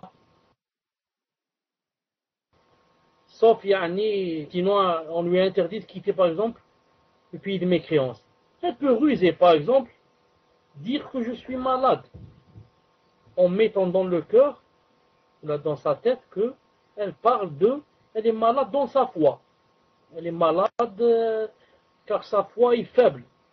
Comme a dit Allah Ta'ala dans le Coran, en parlant d'hypocrite, il a dit marad, par exemple. Il dit je suis très faible, je dois me soigner. Très faible, ça veut dire deux fois. Voilà, il use, il use comme ça d'une ruse hein, pour par exemple quitter ce pays. Par exemple, si, on, si par exemple c'était interdit de le quitter, sauf par exemple pour aller se soigner. Ah. Sinon, il, doit user d'une ruse yani, qui est qui apparemment on dirait que yani, il va faire quelque chose de haram, alors qu'en fait euh, c'est pas haram. C'est comme euh, comme a fait notre prophète euh, Suleiman salam. Quand deux femmes deux femmes avaient deux bébés.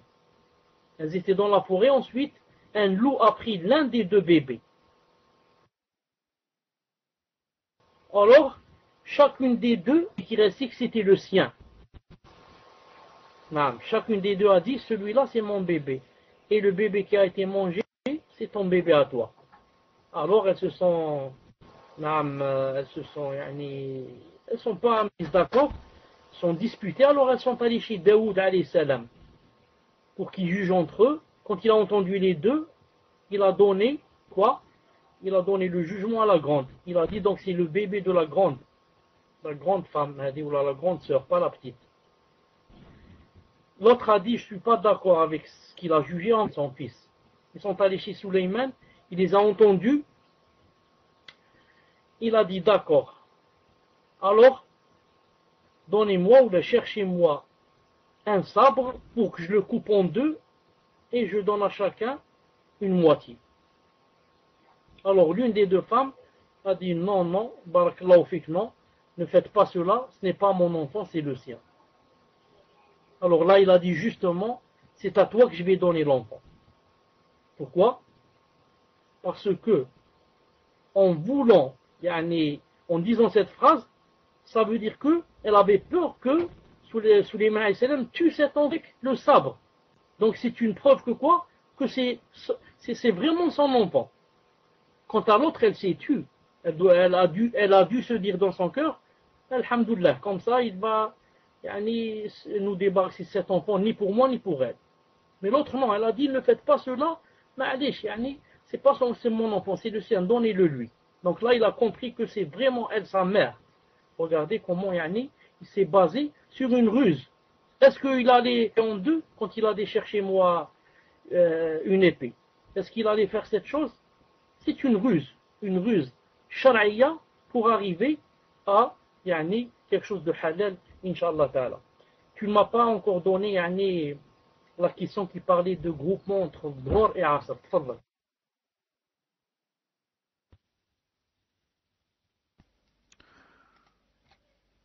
Non, cher, sur cette question, il demandait juste les, raisons valables, les conditions. Quelles sont les conditions pour regrouper les prières?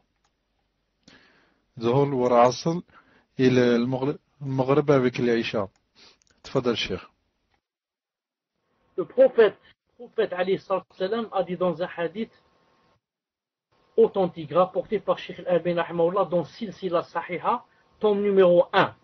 Tome numéro 1 il a dit quand l'un de vous est dans, la même situation que la mienne, alors qu'il groupe. Donc, les savants ont dit que quand quelqu'un a des choses qui le retiennent, qui le gênent par exemple, et que il n'a de moyens que le groupement de la salade. Sinon, il ne peut pas faire sa chose. Dans ce cas, grouper entre les deux salades c'est comme un élève ou quelqu'un qui va passer un de 13h à 18h. Comment qu'il va faire de 13h à 18h pour faire salat al et faire salat al-asr Comment qu'il va faire? Sachant que l'asr se termine par exemple à 19h. Par exemple. Comment qu'il va faire celui-là? Il va grouper entre les deux salats. Il n'y a pas d'autre moyen. Une personne qui sait que si elle va sortir, elle ne va pas revenir jusqu'à la nuit, il n'y a pas où prier. Comment qu'elle va faire? Elle va laisser la nuit, elle va revenir, prier les deux, les, leur, euh, pas dans leur moment. Elle groupe maintenant et elle sort. À condition que l'heure, par exemple, le moment de du dor est rentré. Maintenant c'est dor, classe, il est parti du groupe dor et asar, et je sors pour revenir la nuit, par exemple, pour revenir euh, pour faire le maghreb car je n'ai que cette solution. Donc à chaque fois qu'il y a une chose qui, si je ne groupe pas entre deux salades, je ne peux pas faire cette chose qui est halal, qui est un besoin pour moi, qui est un travail, qui est une visite au malade, qui je ne sais pas quoi, dans ce cas, je peux grouper entre mes deux salades. Et aussi, bien sûr, pour la pluie, si elle est forte, comme dit Cheikh pour le grand vent, pour la grande peur, pour la grande neige, pour le grand froid, et comme ça. Non, pour euh, celui qui est pilote en avion, comment il va faire? Il ne va pas laisser l'avion, il va faire la prière. Pour ceux qui travaillent comme, je ne sais pas, comme euh, si vous êtes euh, parti à la Mecque, vous avez remarqué que quand nous on fait la prière devant la Kaaba, il y a des policiers qui ne font pas la prière. S'il fait lui la prière, ça va être quoi? Ça va être, il n'y a plus d'ordre, c'est le grand désordre. Celui-là, il va monter sur la Kaaba, l'autre, il va déchirer avec le, tapis qui la couvre, il va le prendre, l'autre, il va essayer de casser la porte de la Kaaba pour rentrer. Donc, il faut des policiers qui ne font pas la prière maintenant. Ils vont faire la prière après.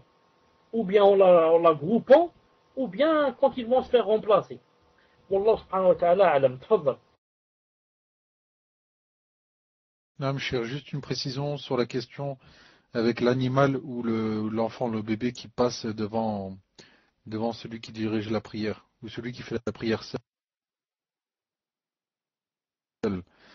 Si, si c'est si nous, est-ce que la salat reste valable?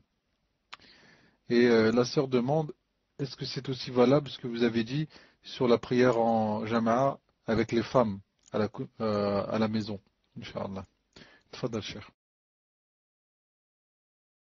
Pour euh, la prière des femmes, ce n'est pas valable. Pourquoi? Parce que les femmes sont toutes dans un seul rang. Ou je veux dire, yani, celle qui les guide se trouve au milieu d'elle. Elle, n'est pas plus avancée qu'elle. Elle se trouve vraiment au milieu d'elle. Donc s'il passe yani, devant elle, ou la s'il passe devant elle, ça veut dire qu'il a coupé des salades. À moins que, à moins que ce chat ou là passe entre yani, devant les sœurs qui sont à sa droite, ou là à sa gauche. Pas devant celle qui est au milieu en train de les guider. Dans ce cas, ça, yani, ça c'est pas grave. Non. Euh, maintenant, si un chat ou un, animal ou un enfant veut passer, comme j'ai dit, on ne doit pas le laisser passer. S'il passe maintenant sans qu'on le veuille, ce n'est pas grave. Ce n'est pas grave. La reine fait la prière, s'il laisse passer, s'il laisse passer un chien noir, ou bien un âne, ou bien une, une fille qui est pubère, s'il la laisse passer, il doit refaire sa salat. Sa salat est annulée. C'est de la baisse. Maintenant, si ce n'est pas une fille pubère, c'est-à-dire une petite fille, ou alors, ce n'est pas un chien noir, c'est un chien blanc, ou alors ce n'est pas un âne, c'est comme si je n'ai pas le droit de les laisser passer. Mais s'il passe, il n'annule pas ma salat. Abdullah ibn Mas'ud a rapporté dans un hadith Hassan, si on laisse passer à part, à part les trois qui annulent, alors si on les laisse passer, on perd la moitié de la salade. Mais elle n'est pas annulée à 100%. Ça, si on les laisse passer. Mais si je fais mon possible et je n'ai pas pu les passer, dans ce cas, ma salade n'est pas annulée et je n'ai pas perdu aussi la moitié. Parce que j'ai fait des efforts pour ne pas laisser passer et il est passé. Ou alors je n'ai pas fait attention non, c'est-à-dire c'est pas moi qui ai voulu le laisser passer. Fadal.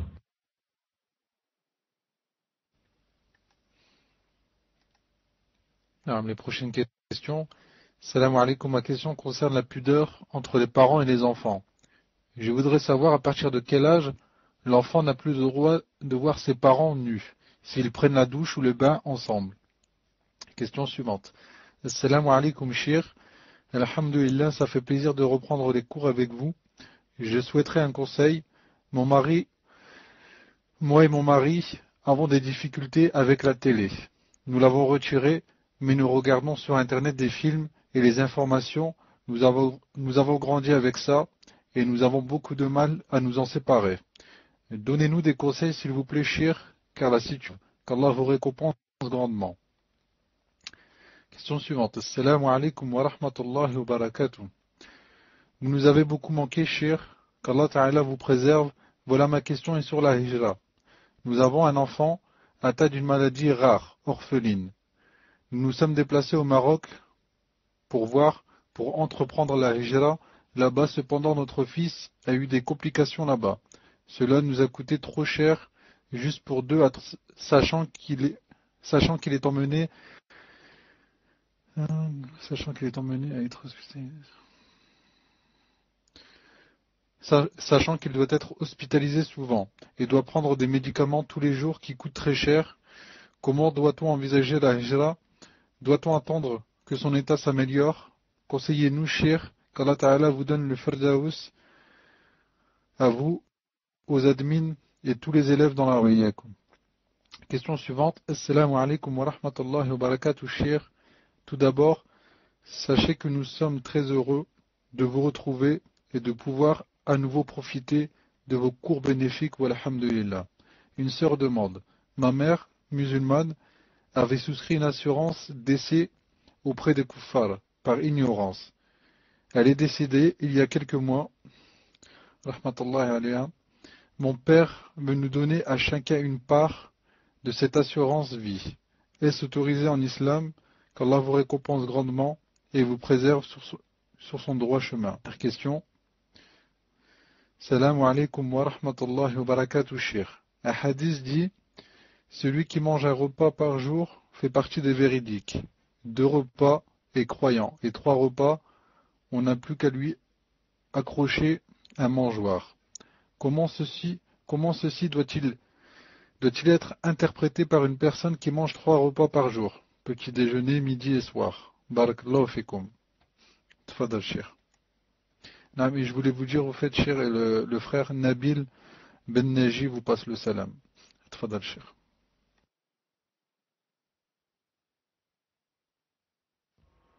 Aliko alayhi salam. Ensuite, euh, toutes les personnes qui disent qu'elles sont contentes que je sois revenu, sachez que c'est la même chose, de ma part.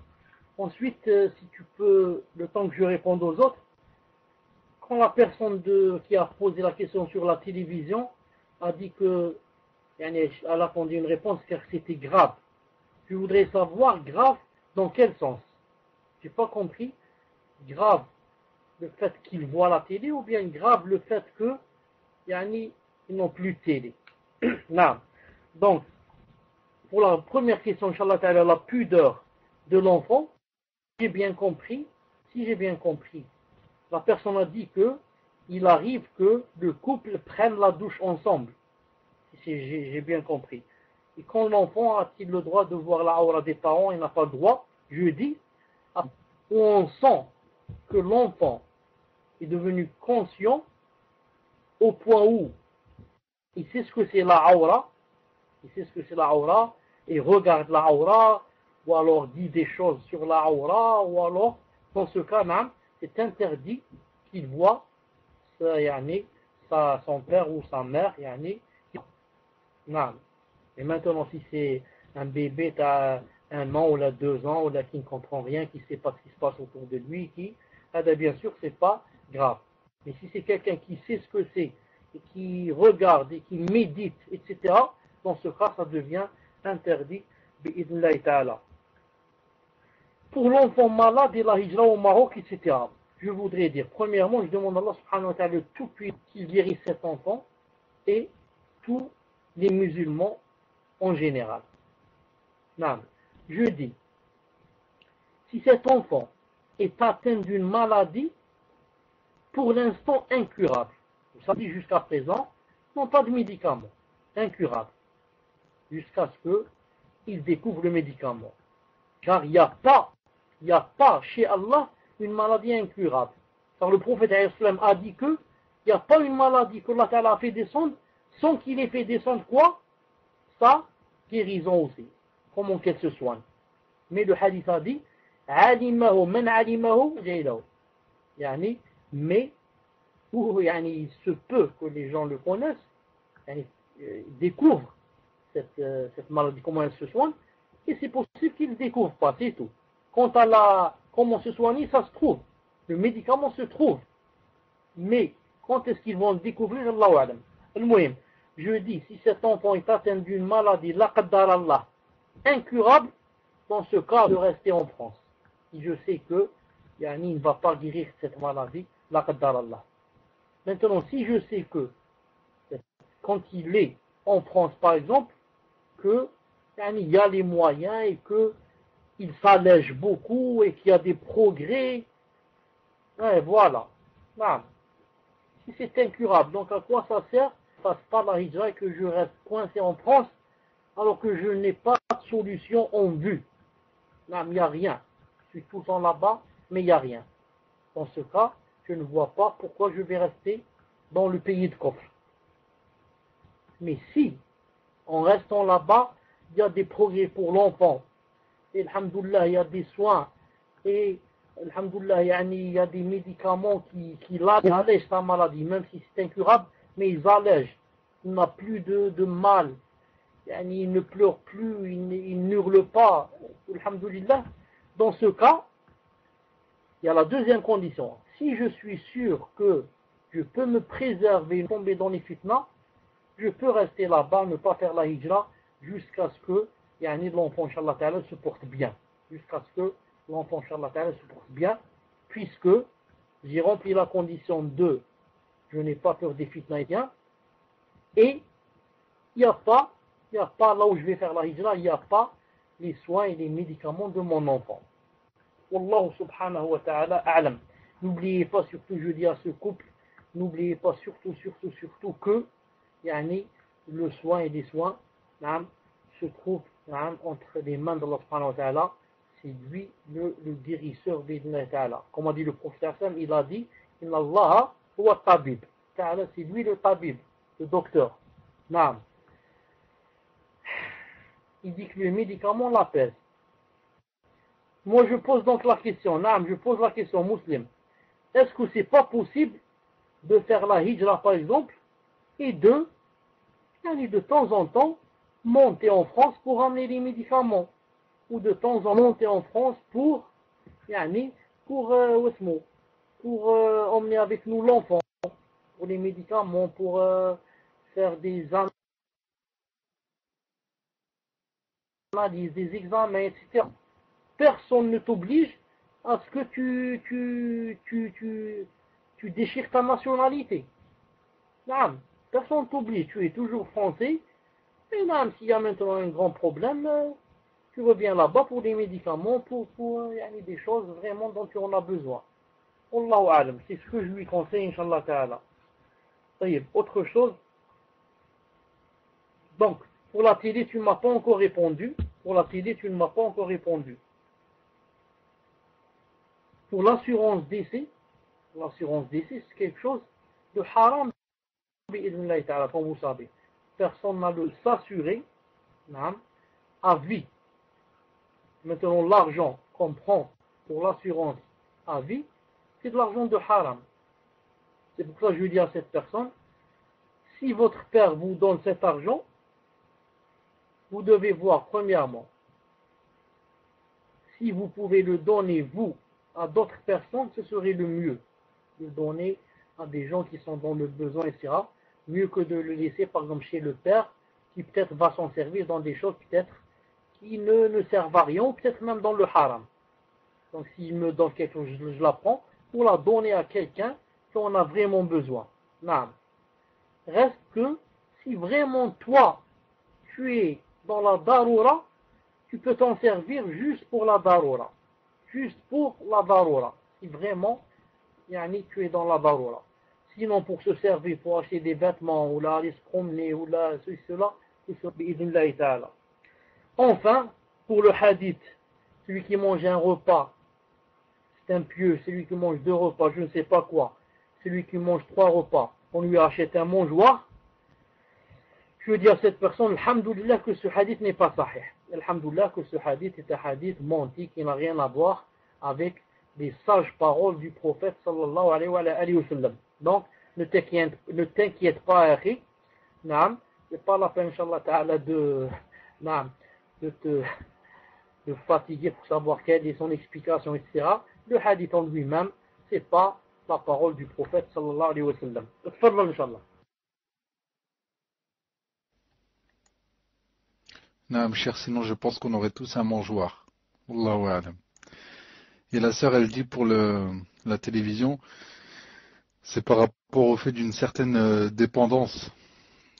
C'est-à-dire, elle dit, ça devient grave parce que l'on veut arrêter, mais qu'on recommence à chaque fois. Et aussi parce qu'il y a de la musique, des femmes dévêtues, des hommes, etc. Voilà, tfadal cher.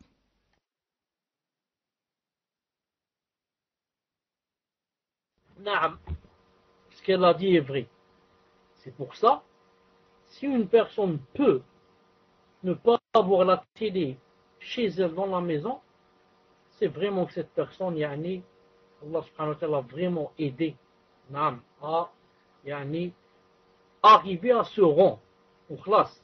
Pour elle, la télé n'existe pas, il n'existe plus. C'est pour ça que le couple, quand il commence sa vie, ils sont seulement deux, il n'y a ni enfant ni rien, c'est bien de commencer sans la Enfant déjà, quand ils naissent, ne connaissent pas, il y a quelque chose qui, est la télé. Mais, on ne doit pas ni cacher la vérité pour dire que ce n'est pas une chose facile.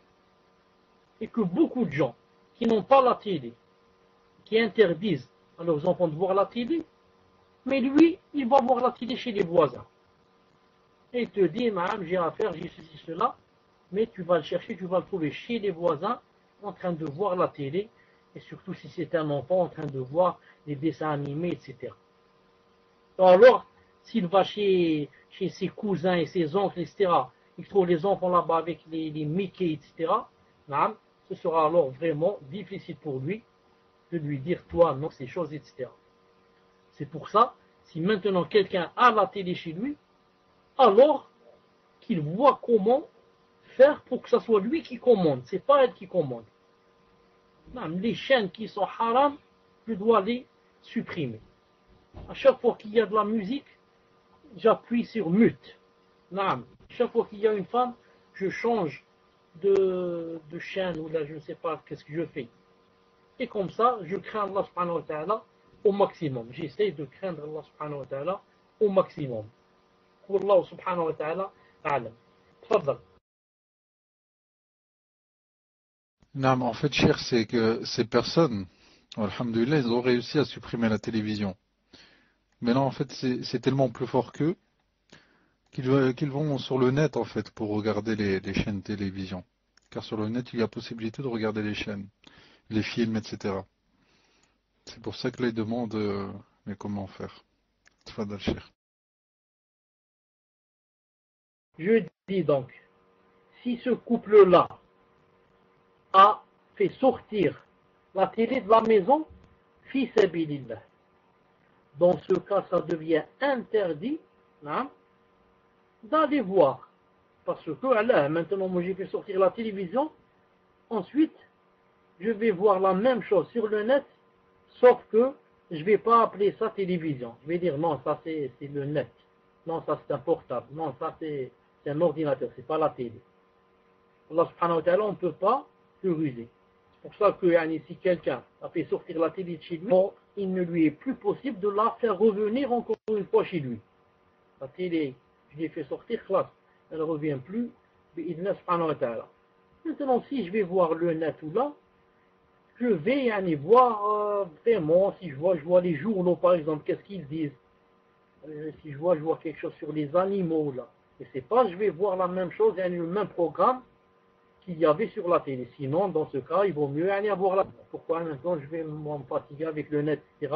Et je vois la même chose que, ce que je voyais auparavant. Non.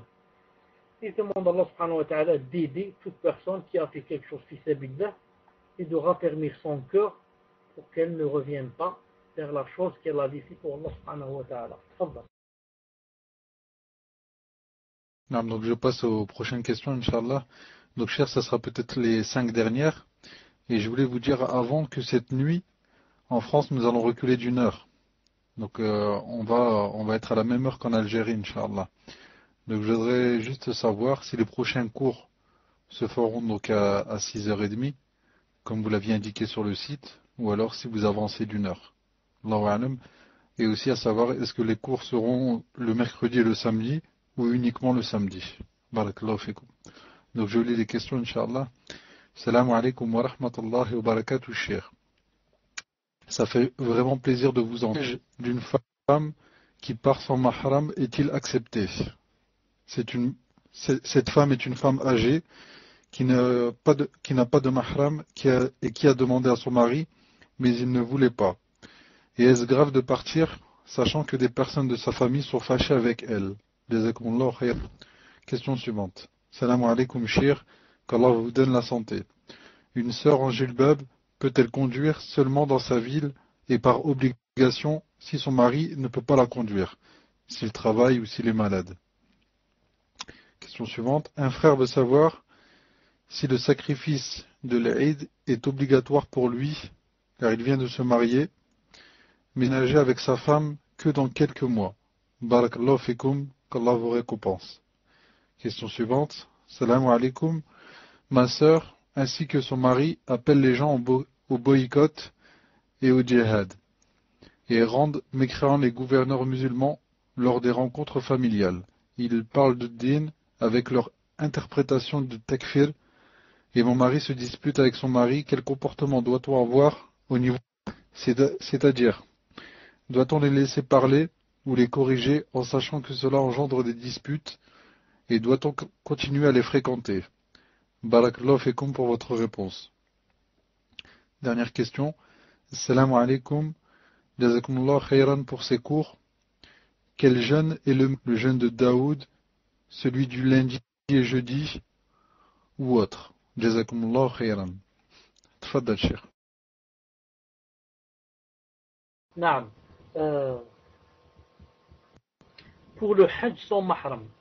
Le Hajj sans mahram, moi, Inch'Allah, je suis de l'avis qui dit que quand une femme n'a pas de mahram, elle n'est plus, yani, il ne lui est plus, le Hajj pour elle n'est plus, une obligation.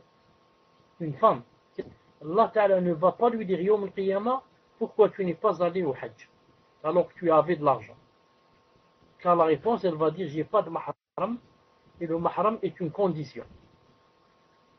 Donc moi je suis de l'avis qui dit que de préférence, une femme sans mahram ne va pas au hajj et ne doit pas y aller. Maintenant, par exemple, on apprend qu'une de la famille, par exemple, a déjà acheté le billet, etc., elle est prête, elle a fait les valises, et maintenant elle ne savait pas qu'il ne fallait pas partir sans mahram. Vous allez sûrement être d'accord avec moi que c'est difficile dans ce cas, de lui dire, il ne faut pas aller au Hajj. Alors qu'elle s'est déjà préparée, tout est prêt, à la dernière minute, je vais lui dire, il faut aller avec, un mahram, tu dois pas y aller. Dans ce cas, Adam, je vais prendre avec la deuxième fatwa qui dit que elle peut partir au Hajj sans mahram, si quoi? Si elle part avec une, une compagnie sécurisée. Comme disent certains savants, c'est permis si c'est sécurisé. Mais je vais laisser cette fatwa pour le cas où, là c'est déjà trop tard, on a acheté le billet, etc. Mais si rien de cela n'a eu lieu, je suis avec ceux qui disent elle va pas aller au Hajj, Alhamdulillah, elle n'a pas fait de péché. Non. Wallahu ta'ala alam. Pour la personne en djilbab qui, qui, conduit dans la ville et, et qui l'accepte, si elle le fait. Non si elle le fait, il est accepté, pourquoi Parce que d'abord, il y a des savants qui disent que c'est permis dans une compagnie, avec une compagnie sécurisée, et deuxièmement, parce que en allant au Hajj, elle a fait ce que demande Allah Ta'ala qu'on fasse le jour du Hajj. Elle a fait le tawaf, elle a fait le tawaf le elle a fait saïr avec Safa ou Marwa, elle a jeté des pierres à l'eau, elle a égorgé, elle a coupé, elle a pris le elle a fait tout ce que on fait pendant le Hajj. Si elle l'a fait convenablement, son Hajj est accepté. Reste que, si par exemple elle est partie sans mahram, et que c'est interdit dans ce cas, elle aura des péchés pour avoir, pour être partie sans mahram. Mais le Hajj, si elle l'a fait convenablement, comme on doit le faire, du début jusqu'à sa fin, Alhamdulillah, le Hajj est valide, bi'idnillah subhanahu wa ta'ala. Personne demande aussi s'il n'est pas réconcilié avec certaines personnes de sa famille. Naam, de préférence, elle essaie de se réconcilier avant de partir. Maintenant, si les autres personnes n'acceptent pas la réconciliation, Alhamdulillah, devant Allah subhanahu wa ta'ala, elle a fait ce qu'il fallait faire. Naam les personnes de ma famille, j'essaie, maintenant c'est très facile, qu'est-ce que je fais? Juste un téléphone, un coup de téléphone. Ou alors juste un SMS. Un SMS, naam, euh, je ne peux plus pardonner ce qui s'est passé, etc. Je vais aller au Hajj. Euh, je demande pardon à toi et à tout le monde. Salam alaikum. Elle répond, elle ne répond pas. Moi, j'ai fait ce qu'il fallait faire. Alhamdulillah. moi, je suis prêt à m'humilier et à humilier mon nefs pour Allah subhanahu wa ta'ala. L'essentiel, c'est que lui soit ravi de moi et. Maintenant, pour la personne, ce qu'elle va dire de moi ou là, elle dit ça rentre par une oreille, ça rentre de, ça sort de l'autre, ta'ala. Pour le djilbab, conduire dans la ville, Inch'Allah ta'ala, ce n'est pas interdit. C'est comme si on disait, est-ce que c'est interdit à une femme, par exemple, de, autrefois au temps du prophète islam, de monter à cheval, monter sur un âne ou là sur une mule ou là dans la ville. Est-ce que c'est interdit? Pas interdit, à moins que elle sache que les djidbabistes, par exemple, elles ont des problèmes si elles conduisent. Elles ont des problèmes avec la police ou avec les gens ou là, ça c'est autre chose. Mais s'il n'y a aucun problème, qu'elles sont en sécurité, il n'y a pas, Inch'Allah de problème dans le din. Pour le sacrifice, le sacrifice, vous connaissez le had, toute personne qui a des moyens et ne sacrifie pas, ça veut dire quoi? Ça veut dire qu'il a fait un péché. Dans un hadith, il a dit qu'il s'éloigne de notre mosquée, du, du Donc, qu'il soit marié ou pas, qu'il soit marié ou pas. Sauf maintenant si vraiment il n'y a pas, par exemple, comment? Il n'y a pas comment l'égorger, ni où, ni j'ai les moyens, ni dans ce cas, bien sûr, ça ne devient pas obligatoire. Et le, sacrifice, même si quelqu'un a une famille, ça suffit. Ça suffit pour toute la famille. Ce n'est pas chaque mois va égorger. S'il vit, par exemple, dans une, maison, il vit avec son père, etc., si quelqu'un, seulement le père ou seulement un des enfants, va sacrifier, Inch'Allah Ta'ala, ça suffit. Non. Ensuite, pour le jeûne, le jeûne, quel est le meilleur jeûne? Le meilleur jeûne, c'est le jeûne de Daoud, salam. Jeûner un jour et manger un jour. Mais, pour dire la vérité, ce n'est pas un jeûne facile. C'est pour ça, attention, de commencer une chose et de la lâcher par la fin. Comme le sahabi qui a fait cette chose et à la fin il ne pouvait plus jeûner. Il a dit Ah, si j'avais pas commencé Yanni ce jeûne-là, car ce n'est pas une chose facile de jeûner un jour et de manger un jour. C'est pour ça que je conseille le jeûne. Le jeûne du prophète et vous savez que Hadi, Hadi Muhammad. C'est quoi? Ou bien de jeûner le lundi et le jeudi, ou bien alors de jeûner seulement trois jours par mois. Trois jours par mois, Allah va t'écrire 30 jours par mois. Donc il va t'écrire comme si tu avais jeûné tous les jours. Et les jours, les trois jours, c'est pas obligé que ce soit le 13, 14, 15 en arabe. C'est préférable, c'est tout. Sinon, comme a dit ta'ala dans un hadith rapporté par Muslim, elle a dit le prophète ne manquez pas de jeûner trois jours chaque mois. Que ce soit, voilà ce qui est très intéressant. C'est la fin du hadith. Elle a dit, au milieu ou à la fin, tout cela, à, tout cela, il ne donnait pas d'importance. Elle dit de Aïcha dans Muslim. Elle a dit le prophète islam, jeûner trois jours de chaque mois.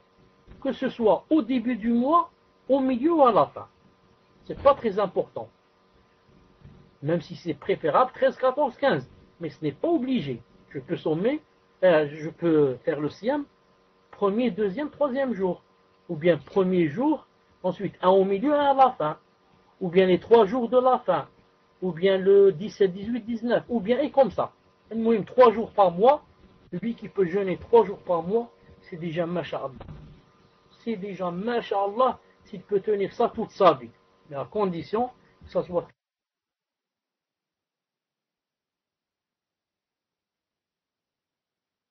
toute la vie, comme j'ai dit. Par une sœur qui parle de boycott et de djihad et de, qui dit que les, les, les, les, c'est-à-dire les gouverneurs et les gouvernants, les musulmans qui sont des kofars, cette sœur, euh, on demande à Allah subhanahu wa ta'ala de la guider et de lui éclairer son cœur et qu'il lui descende un peu de lumière dans son cœur et qui lui enlève la poussière de ses yeux pour qu'elle voie la vérité vérité et le faux qu'elle le voit faux. Non.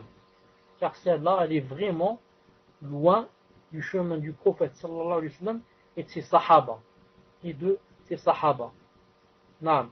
Donc euh, je conseille à cette euh, sœur qui dit comment je fais avec elle, c'est de yani, l'exiler quand elle est en train de parler, etc., de ne pas s'asseoir avec elle. Car la contrarier n'est pas possible. Tu vas la contrarier, elle va donner des choses, peut-être tu ne vas pas avoir de, réponse, tu seras énervé, tu feras ceci. Et ceux qui vont entendre vont dire, voilà, il lui a donné des versets, etc., elle n'a pas pu répondre. En parlant de toi. Maintenant, si on s'assoit et on la laisse parler, c'est impossible aussi. Elle est en train de dire des choses fausses et moi je suis là assis en train, c'est comme si j'acceptais ce qu'elle disait. La meilleure façon, c'est de s'éloigner d'elle au maximum. S'éloigner d'elle au maximum. Je vous donne un exemple. J'ai quelqu'un de la famille aussi qui, Allah il a commencé à, à pencher vers les chiites. À chaque fois que je vais dans un mariage, je le trouve. Subhanallah. Et à chaque fois يعني كون كومونس ا باري كي كومونس ا فونتي ناصر كومون كي سابيل هذاك حزب الله هذاك ا واسمو هذاك سوي دي ليبون لا هذاك لو لو غون خبيث لو غون شيطان كومون كي ناصر ناصر حسن حسن نصر الله كومون كي سابيل هذاك نعم كومونس ا فونتي les Sham, le Khomeini, ils combattent les Yahoud, les Juifs, les ceci, les cela, cela. Subhanallah al Donc, euh, qu'est-ce que je fais quand je le rencontre? Naam. Salam, comment ça va Alhamdulillah, la famille, etc. Ensuite, quand on, quand on s'assoit, je m'assois avec eux. Mais si lui, il prend la parole et il rentre dans le sujet, je pars. Naam je vais m'asseoir là-bas avec d'autres gens, bien tout seul. Plusieurs fois dans les mariages, je vais là-bas tout seul dans un coin. J'ai euh, dans mon portable, dans mon portable téléphone, j'ai le Coran à l'intérieur. J'ouvre un peu, je lis un peu le Coran là, et je le laisse là-bas en train de parler de son Shia et de son Khomeini, etc. Car c'est quelqu'un, vous allez me dire pourquoi vous ne restez pas, vous, vous le contrariez? Je vais vous dire, c'est quelqu'un du genre qu'on ne peut pas contrarier. C'est quelqu'un du genre que qui sont comme ça, qui parlent beaucoup, qui lèvent la, voix et qui ne s'arrêtent pas de parler, la salive fière et la salive qui sort euh, de, la bouche, etc. Une fois, une fois, déjà cette personne, j'étais avec elle hier. Hier, on était ensemble, je parle à dans un mariage avec cette personne. Non. Alhamdoulilah, il n'a rien parlé, c'est pour ça qu'on s'est assis ensemble. S'il avait tiré, s'il avait commencé ce sujet, il serait parti. Le.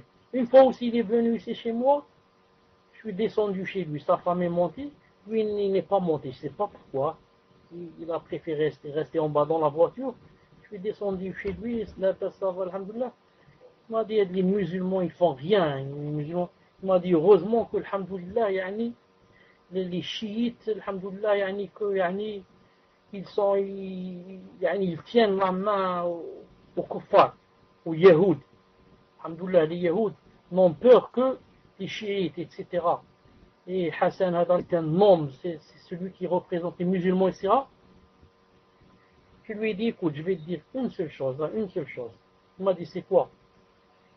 Je lui ai dit, est-ce que d'après toi, quelqu'un qui dit que Aïcha est impure et qui insulte les Sahaba, Allah va lui donner la victoire? Il m'a dit pourquoi? Qu'est-ce qui a insulté Sahaba? Et dit que Aïcha est impure Je lui ai dit Hadal Hassan Nasrallah dit comme ça. Il m'a dit toi, tu crois toujours, tu crois à ces choses-là? Je lui ai dit écoute, je vais monter à la maison, je vais te faire descendre euh, une cassette. Je vais te la donner, tu vas l'écouter. Et il m'a dit, tu crois que je suis bête au point de, de croire que c'est lui qui parle? Je lui ai dit, mais, mais c'est lui, tu vas entendre sa voix? Il m'a dit, non, c'est impossible pas maintenant, je vais trafiquer dans Internet, etc. Et on va te faire parler. Tu crois que c'est toi qui parles alors que c'est pas toi. On va montrer ta photo en train de parler, on va dire que c'est Tchelebi, que c'est pas toi. Il m'a dit, tu crois que... Donc, c'est impossible, c'est quelqu'un d'impossible de comparer, etc. Donc, qu'est-ce que, c'est quoi la solution? Ne pas perdre ce temps avec une personne pareille. Je ne vais pas, moi, perdre mon temps, une heure, deux heures, il n'y a aucune, aucun résultat. Vous comprenez? Donc je dis à cette sœur, de préférer laisser au maximum s'éloigner d'elle, de l'exiler.